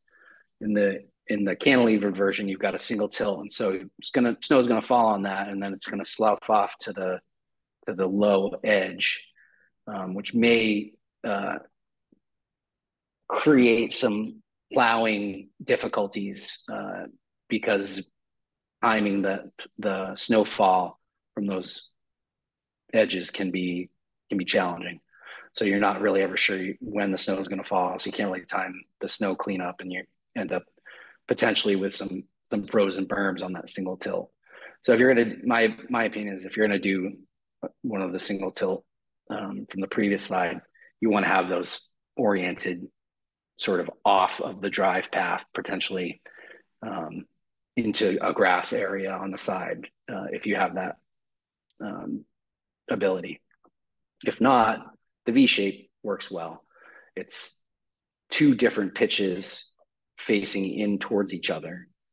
Um, this works best in a north south orientation. If the, if the posts of the canopy run north south, you could pick up the you know the eastern sun and the western sun and and generate a, a fair amount of power, but also prevent that uh, those snow berms from forming um, when when the snow melts. Uh, as as an option, you can add water management to a, a canopy. They don't typically water management is not included in a solar carport. The panels cover what they will, and they're, they're the panels are generally something like six feet by four feet. Um, really rough numbers there, but the between the panels is a little gap, and so uh, rain will go through the gas, but it's it's a much reduced sort of intensity of rain because it's only falling every so often. Um, when people want a true weatherproof structure, they'll put in water management. They'll put in basically a, a small roof surface underneath the solar system so that it can catch the water and an internal drain system will run that water to um, out to the existing drainage of the property. But that we don't see that very often because it adds a fair expense and we find that folks don't tend to mind the, the amount of weather that does get through. So that is the, the V shape. And then the next one that I'll talk about is the long span. So this is basically the, the most power dense of the options and, and it covers both the drive aisles as well as the parking spots and tends to, to be uh, the most cost efficient style. Um, so it ends up being a bit more monolithic, but ends up being the most um, cost effective and energy effective option that we have.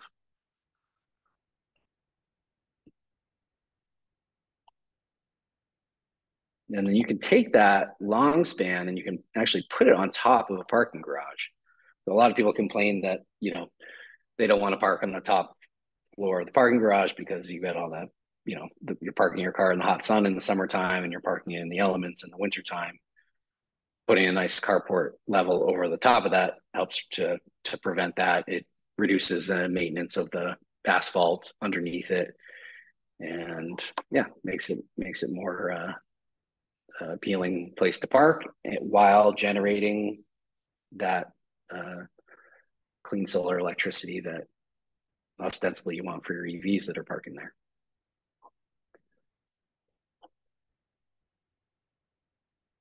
that's what I've got for carports. And I would be happy to open the floor to any questions that we have out there.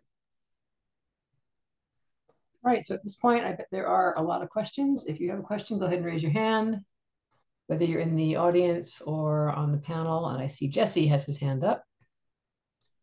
First of all, thank you both for joining us. Um, this is really great. I took a bunch of screenshots stole some information along the way. That was fun. Good. I'm curious, and I, I know, I'm sure this is the first and most annoying question you always get, but as far as uh, dollars per watt installed, and without, I don't even necessarily need you to give a number, but if you have one, great, or even a range. But more particularly, where does it compare to like residential rooftop solar or, you know, field solar like so where do these carports tend to sit in that in that range of or what is what is a typical range of dollars per watt installed sure now are we talking for you specifically jesse or are we just talking for for the general public well, just kidding. That's, a, that's a joke. I'd like I'd like 50 kW over my drive my driveway if you don't mind. Yep. Yep. Sure. Um, so there, there's significant infrastructure investment to the carport that you don't have with a roof mount, right? You're you're putting concrete and steel in the ground.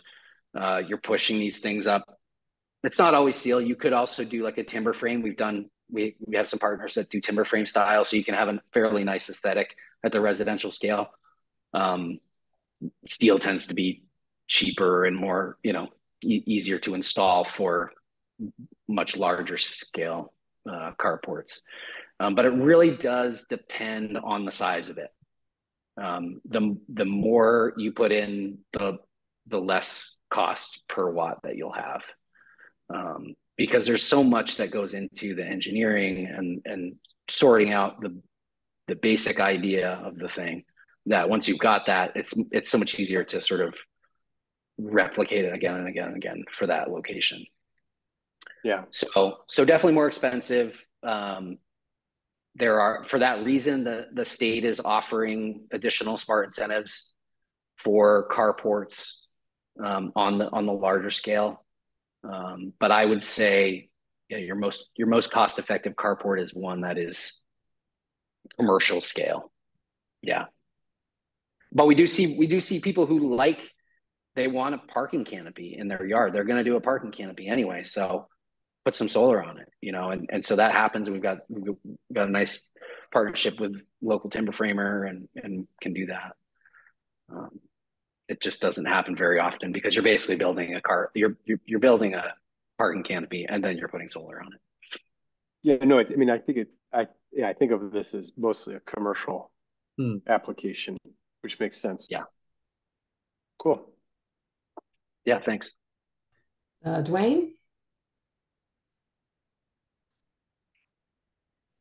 You're muted, Dwayne. Yeah, yeah, yeah. I was, I was busy trying to put my hand down. Now I see I'm muted, but okay. First, I uh, thank you both to both of you for great uh, information presentations. Uh, I'll stick with the canopies first, and just on on not so much uh, associated lining line of questions. What um, there's a lot of parking lots um, in, in well, around the world, around around the country, and uh, you know, maybe not huge amounts in Amherst itself, um, except for the university. There are some, but there, there are plenty of parking lots in Hadley, for example. Um, what what are what what I wouldn't say pushback, but feedback do you get from potential sites um, of these types of um, commercial facilities um, that make it are, are, sort of barriers to um, progressing this more actively um, in, in Massachusetts. Uh, I, there's a lot of interest public in the public. Um, there's there is the smart incentives um, that may, should make it a bit more competitive with other solar. Um, uh, so what what what sort of the pushback or, or problems that you face um, when you uh, try to get commercial facilities to do this? Yeah, that's a great question.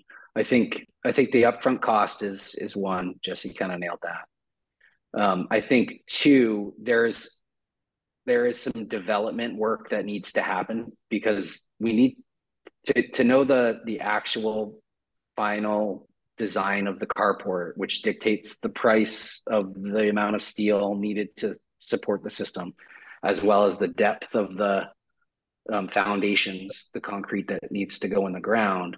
There's what's what we call geotechnical uh, engineering that needs to happen, where they're digging more test pits in the ground. They're analyzing the soil for its weight bearing capacity, for its, you know, how well it's going to prevent that um, concrete from shifting side to side under wind loads, that kind of thing. And in order to do all that um, testing and then engineering work, it's a it's a, a fair amount of money to do that work.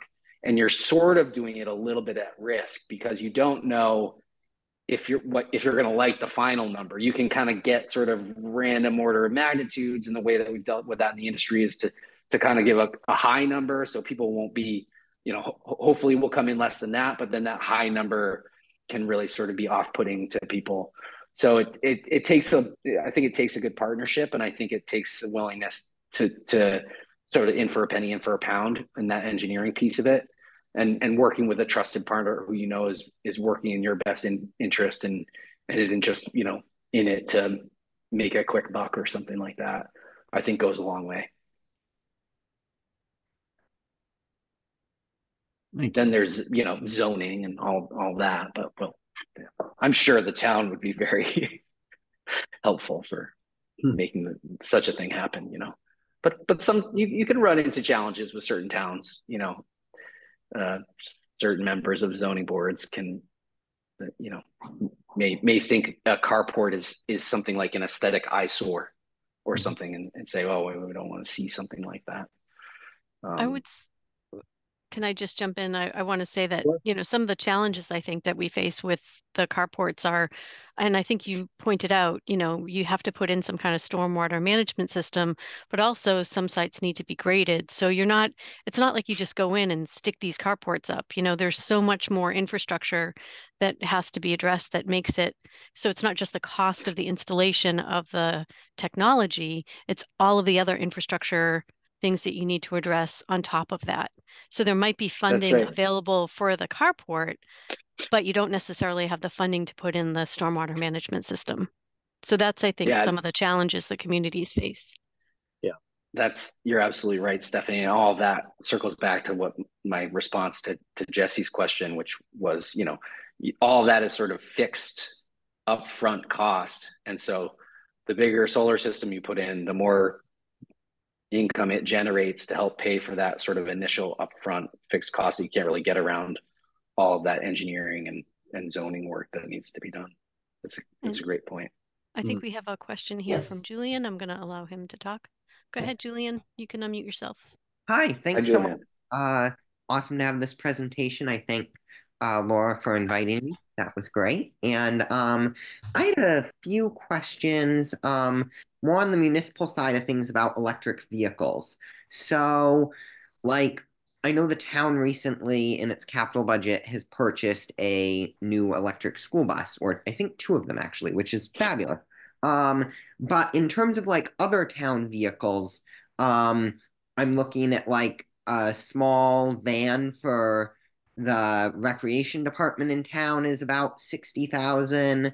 Uh, Public Works pickup truck is about 60,000. A police cruiser is approaching 80,000. Um, so what I'm wondering is with these vehicles, which I mean to a consumer seems pretty expensive vehicle, is like what would a comparable electric option cost? Like maybe a Ford Mustang Mach-E or a F-150 Lightning. Like would the costs be relatively comparable? And if not, how quickly could we recoup those costs if we decided to slowly transition our fleet in that direction? Do you want me to take this one, Don? Uh, sure. Yeah. It- So It ties, the- it ties the- nicely to your last your your last response. Yeah, I'm happy. I'm happy to take it. So the, uh, you know, the cost of electric vehicles has historically been slightly higher than, you know, the standard internal combustion engine counterparts. Um, you you can get electric vehicles for less cost than internal combustion engine in some cases today. Like I think you get the base Ford Lightning F one fifty is like fifty thousand bucks. So that's comparable to, you know, its internal combustion engine counterpart. Right now, the there are a couple of different incentive programs to try to help level that playing field. Um, one of them is the federal EV tax credit, which gives up to seventy five hundred dollars. Uh, it used to be a tax credit. Now they're doing they're doing it as a rebate at the dealership. So um, that's seventy five hundred dollars in some cases. In other cases, thirty seven fifty. Not not every vehicle qualifies for it, so you really have to um, assess that. And there are different sort of like income things. So if if you're a millionaire, you're probably not going to get the the the the leg up that people of more moderate income might get from that tax credit. The other uh, opportunity that we have is the the MOR-EV rebate in Massachusetts, which in some cases gives up to I think seventy five hundred or eighty five hundred dollars um, for a pickup truck. So that's fifteen thousand dollars off a pickup truck right there, um, if it qualifies for the Massachusetts State MOR-EV grant and the federal tax credit. Um, so a couple of really nice options there. Then, of course, we're talking about reducing um, co- operating costs. So you have to look at both fuel and operations maintenance. Um, there, you know, there's no oil to change. You know, there's no spark plugs to to swap. There's no engine tunings. There's no belts. You know, all, all that stuff is n- no longer exists in the EV version. Um, and the cost of electricity, you know, th- then there's the cost of electricity versus the cost of fossil fuels, and you know which ones, uh, how those compare.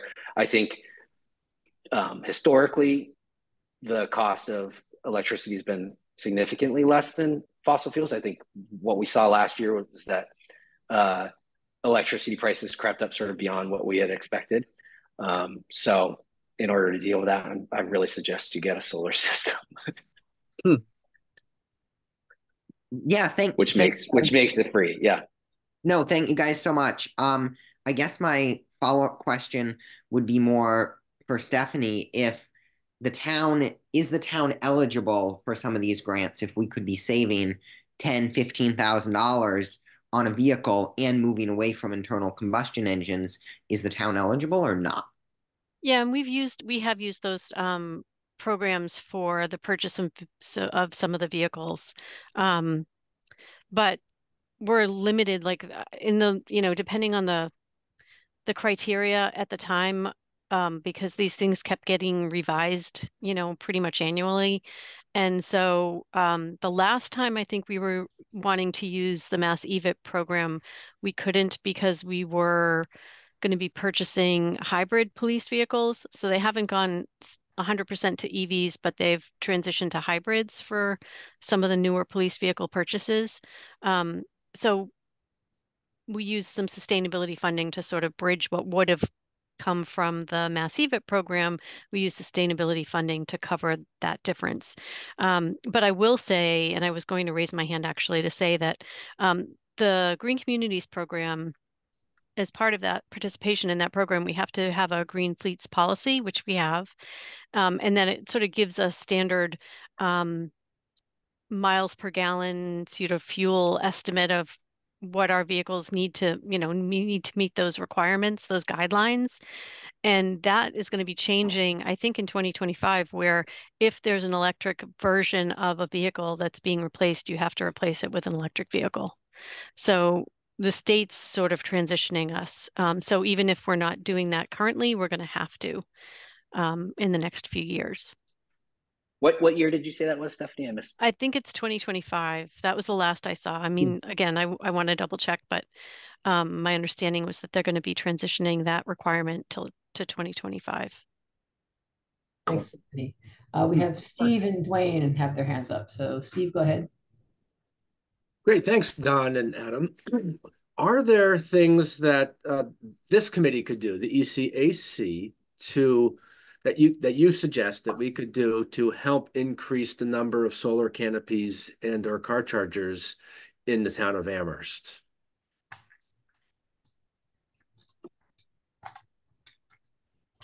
you know, you know the community better than I. uh, but you know, I think a, a big part of it is you know, is, is education and, you know, kind of evangelizing the, these technologies. So, you know, I think community involvement and connections that you have just to open up a, a, dialogue for evaluating these things is is probably the most the most impactful. Right, you know, that's the sort of thing we do. I was wondering if there were bottlenecks that you see as um, developers of these technologies that you wish weren't as time consuming or frustrating to deal with that you know, maybe there's something that we could help to remove those bottlenecks, at least at a town scale. You know, we're not going to be able to do much with a statewide incentive program, but at a local level. Something that comes to mind to me is developing, you know, a longer range plan. If we're going to move from one in five EVs on the road to four and five in the next 10 years, where are those where are those chargers going to be where are we gonna where are we gonna do that um, is that going to be in the in the in the bigger municipal lots? Is that going to be uh, street side uh, are and and same with carports you know what and then how are we going to pr provide uh, the electricity for those? Um, developing an idea about whether the town wants to to own that and develop that or if they want uh, to put out an RFP for people to come in and say, yeah, I'd like to I'd like to build out these 20 parking spots with charging infrastructure. Um, I think I think right now is the time to start coming up with the plan for mm.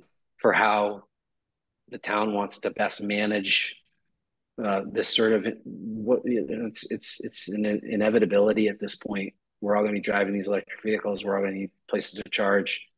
Um, how do we do that in a way that you know is in alignment with the rest of the town's goals uh, and and planning? I don't think that conversation's happening a lot out there around the state. I don't honestly don't know. Maybe you are all are already doing that. Of course, you lead the way on so many things. Um, but that's that's one thing that comes to mind.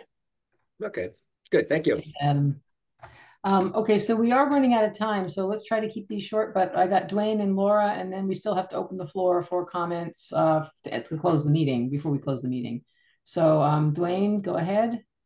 Yeah, just and it follows up actually on, on just what was being discussed. Well, as we get to four four or five cars EVs and then five to five five or five cars EVs, um, it seems to me the the the uh, a primary thing that's keeping say families from buying replacing their fossil their uh, just take me for example. We got an EV. Uh, I have an EV. It works great. I'm fine with charging and all that. No no issues. No range anxiety but I need to use the fossil, the gasoline car when we go on long trips. Mm-hmm. And we can't, we can, you know, families can't sort of have have a non EV, need to have a non EV vehicle to allow for longer trips, which are is pretty critical. So as we get to like all electric vehicles, it seems like the highway systems, fast charging on the highway systems is what's really needed. My question is, do you know what Massachusetts is doing with regard to that? uh, on the Mass Pike, 495, so forth? Don, you want to tackle that one? Yeah, yeah, absolutely. So um, Mass has been a little bit slower to react than than some other states. Um, like interestingly enough, you know, um, our company was founded in Maine. Maine is um, is light years ahead, and I think part of it is, you know, I'll take a step back. You know, on a federal level, um, some of the funding options that have been rolled out are under a, a plan called NEVI, which is the National Electric Vehicle. So, state of Massachusetts, from that federal funding, has received sixty million dollars in in funding options. It's just now a matter of coming up with the parameters to make that deployment happen. So, you know, I think Mass has been a little more conservative in kind of looking at what some other states have done. So, you know, any challenges or you know problems that happen aren't aren't replicated. So so the plan's there. I mean, a, a robust um, RFI um, as well as RFP were were issued. Um, it's nice that they opened it to public comment initially, which uh, uh, us and, and a number of others installers provided feedback for. Um, but they're still in that process of really kind of digesting for for full deployment. So, you know, the the funding metric is there from a federal level. Um, like I said, there, there's funding that's been been approved here. It's now it's really a matter of you know, how is the program going to work? How is it going to be deployed? Uh, but certainly, first and foremost, they've identified those what they call alternative fuel corridors, or, or the highways, basically, to be the first area of deployment. And to receive that funding, there are parameters that need to be involved. You know, some of the things I talked about, like, um, you know, there need to be amenities available. You know, it can't just be, you know, off the highway, off in the woods. There, there needs to be um, you know, there needs to be a restroom available. There, there need to be some sort of amenities there for the driver. So, you know, like I said, I, I, feel like where we were with solar, you know, over a decade ago, that we're, we're at the beginning of, of the tidal wave to happen. It's just, it's, you know, the, that, that initial deployment is is always the most challenging. It's, it's... Thank you. Those corridors, I think, are are what Route Two, I ninety, I ninety one. Yeah, the, the Beltway. Yep, and then out the Cape, Route Six. Um, 24, so you know, they, 12. 24. Okay. Yeah. Mm-hmm. So they've, they've identified some sort of main arteries that they want uh, all of us developers to figure out how, you know, where, where do we put a, a charging station spaced out appropriately. One every 50 miles is the parameter okay. with amenities, as Don said. So we're, we're working on figuring that out. But Maine's Maine already issued its NEVI grants, and we've already we're already building under NEVI grants in Maine. We're already building under NEVI grants in New Hampshire. Yeah. Um, so we're we're we're Massachusetts. We yeah, we like to make it a little difficult. A little know? bit of red tape we need to navigate yeah. through. Let me let me try to to cut it short a little bit. I see Stella, but I also see two people from our attendees, um, Shoshana right. King and Martha. Uh, Stella, would you mind if I let some of the attendees ask questions first? No, that's fine. This was also going to be public comment because it's my daughter who has a really quick question. Uh, okay, so are we moving to Shoshana or Martha? Yeah. have a public comment or do you have questions for Don or Adam? Shoshana, I'm giving you the ability to talk, so you can Thank go ahead you. and unmute. Um, uh, my name is Shoshana King. I'm a resident of Amherst.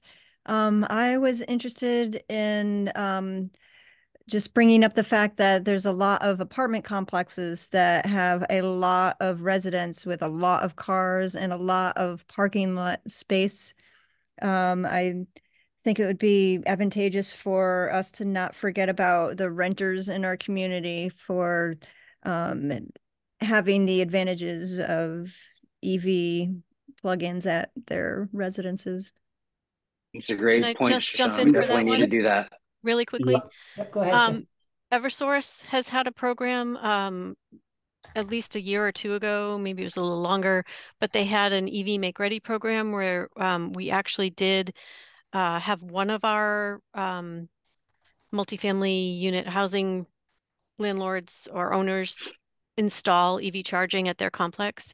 So when those programs come up, we do actually try to make that known, you know, to the to the business community. We send information to the Chamber of Commerce. So um, I don't, I, I'm not really clear what um, EverSource's current program actually allows for commercial, but certainly when there's opportunities exist, we try to let them know about it. And, and if you know about any, Shoshana, you know, let, let us know. Um, we're always on the lookout for stuff. Uh, we only have so much bandwidth between us. Um, and Yep, it's and there, always yep. great when we can get the landlords involved. Okay. Yep, and there are still those make ready program funds available. So Ah, excellent. And on a big level, I know the state has identified multi-unit dwelling as, you know, a, a major challenge that needs to be solved, to your point, Shoshana. So, um, you know, they're aware of it. Interestingly enough, there was a news story last week, two weeks ago. Maura Healey uh, just freed up about $50 million in funding to the Mass Clean Energy Council to tackle this specifically, to, to try to talk about deployment of um, like sidewalk charging, you know, uh, put chargers on light posts, maybe replace parking meters to help address the, uh, you know, the, the renters or, or non-homeowners, uh, people that, that live in multi-unit dwellings to have an option to charge as well. So um, it's an, it's an area that's been identified.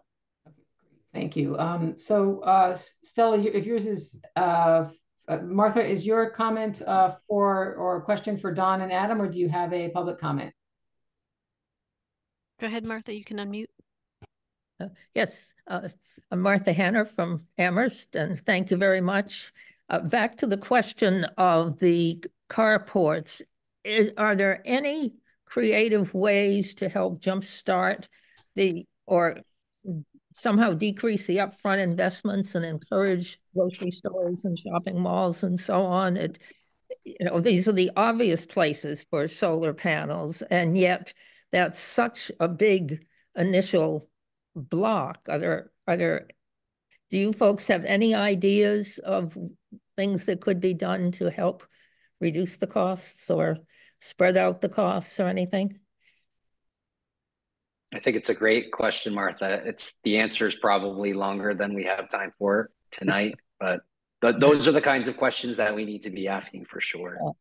Yeah. No. Absolutely. So, um, No answer, huh? Well, I just, Right. yeah, No I'm, s- easy- I'm no easy We're, we're, answer. we, we're working on it every day. I'll tell you that much. Yeah. I, I think the question is, how do you get the owners of the properties interested? Right? Because there are incentives and things out there, but you have to get them interested. Right. there- And- and there- Oh, sorry.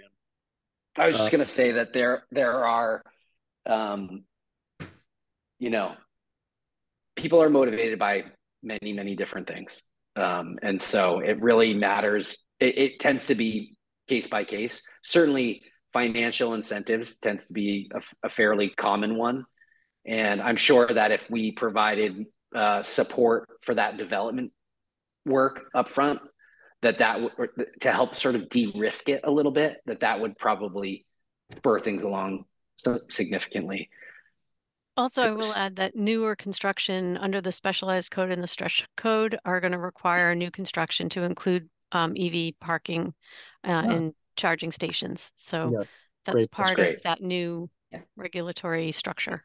Yes. And will you come to the Sustainability Festival on April twentieth? we i believe we're going to be there I'll Good. i invite believe them. so Just yeah talk to me. I'll I'll talk to Lydia.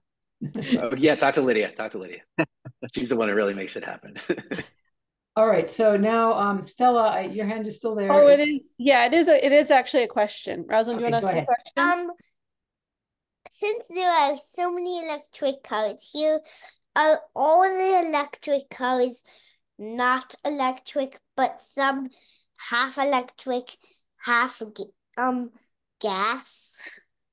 That's right. There are some cars that are all electric, and there are some cars that are half electric, half gasoline.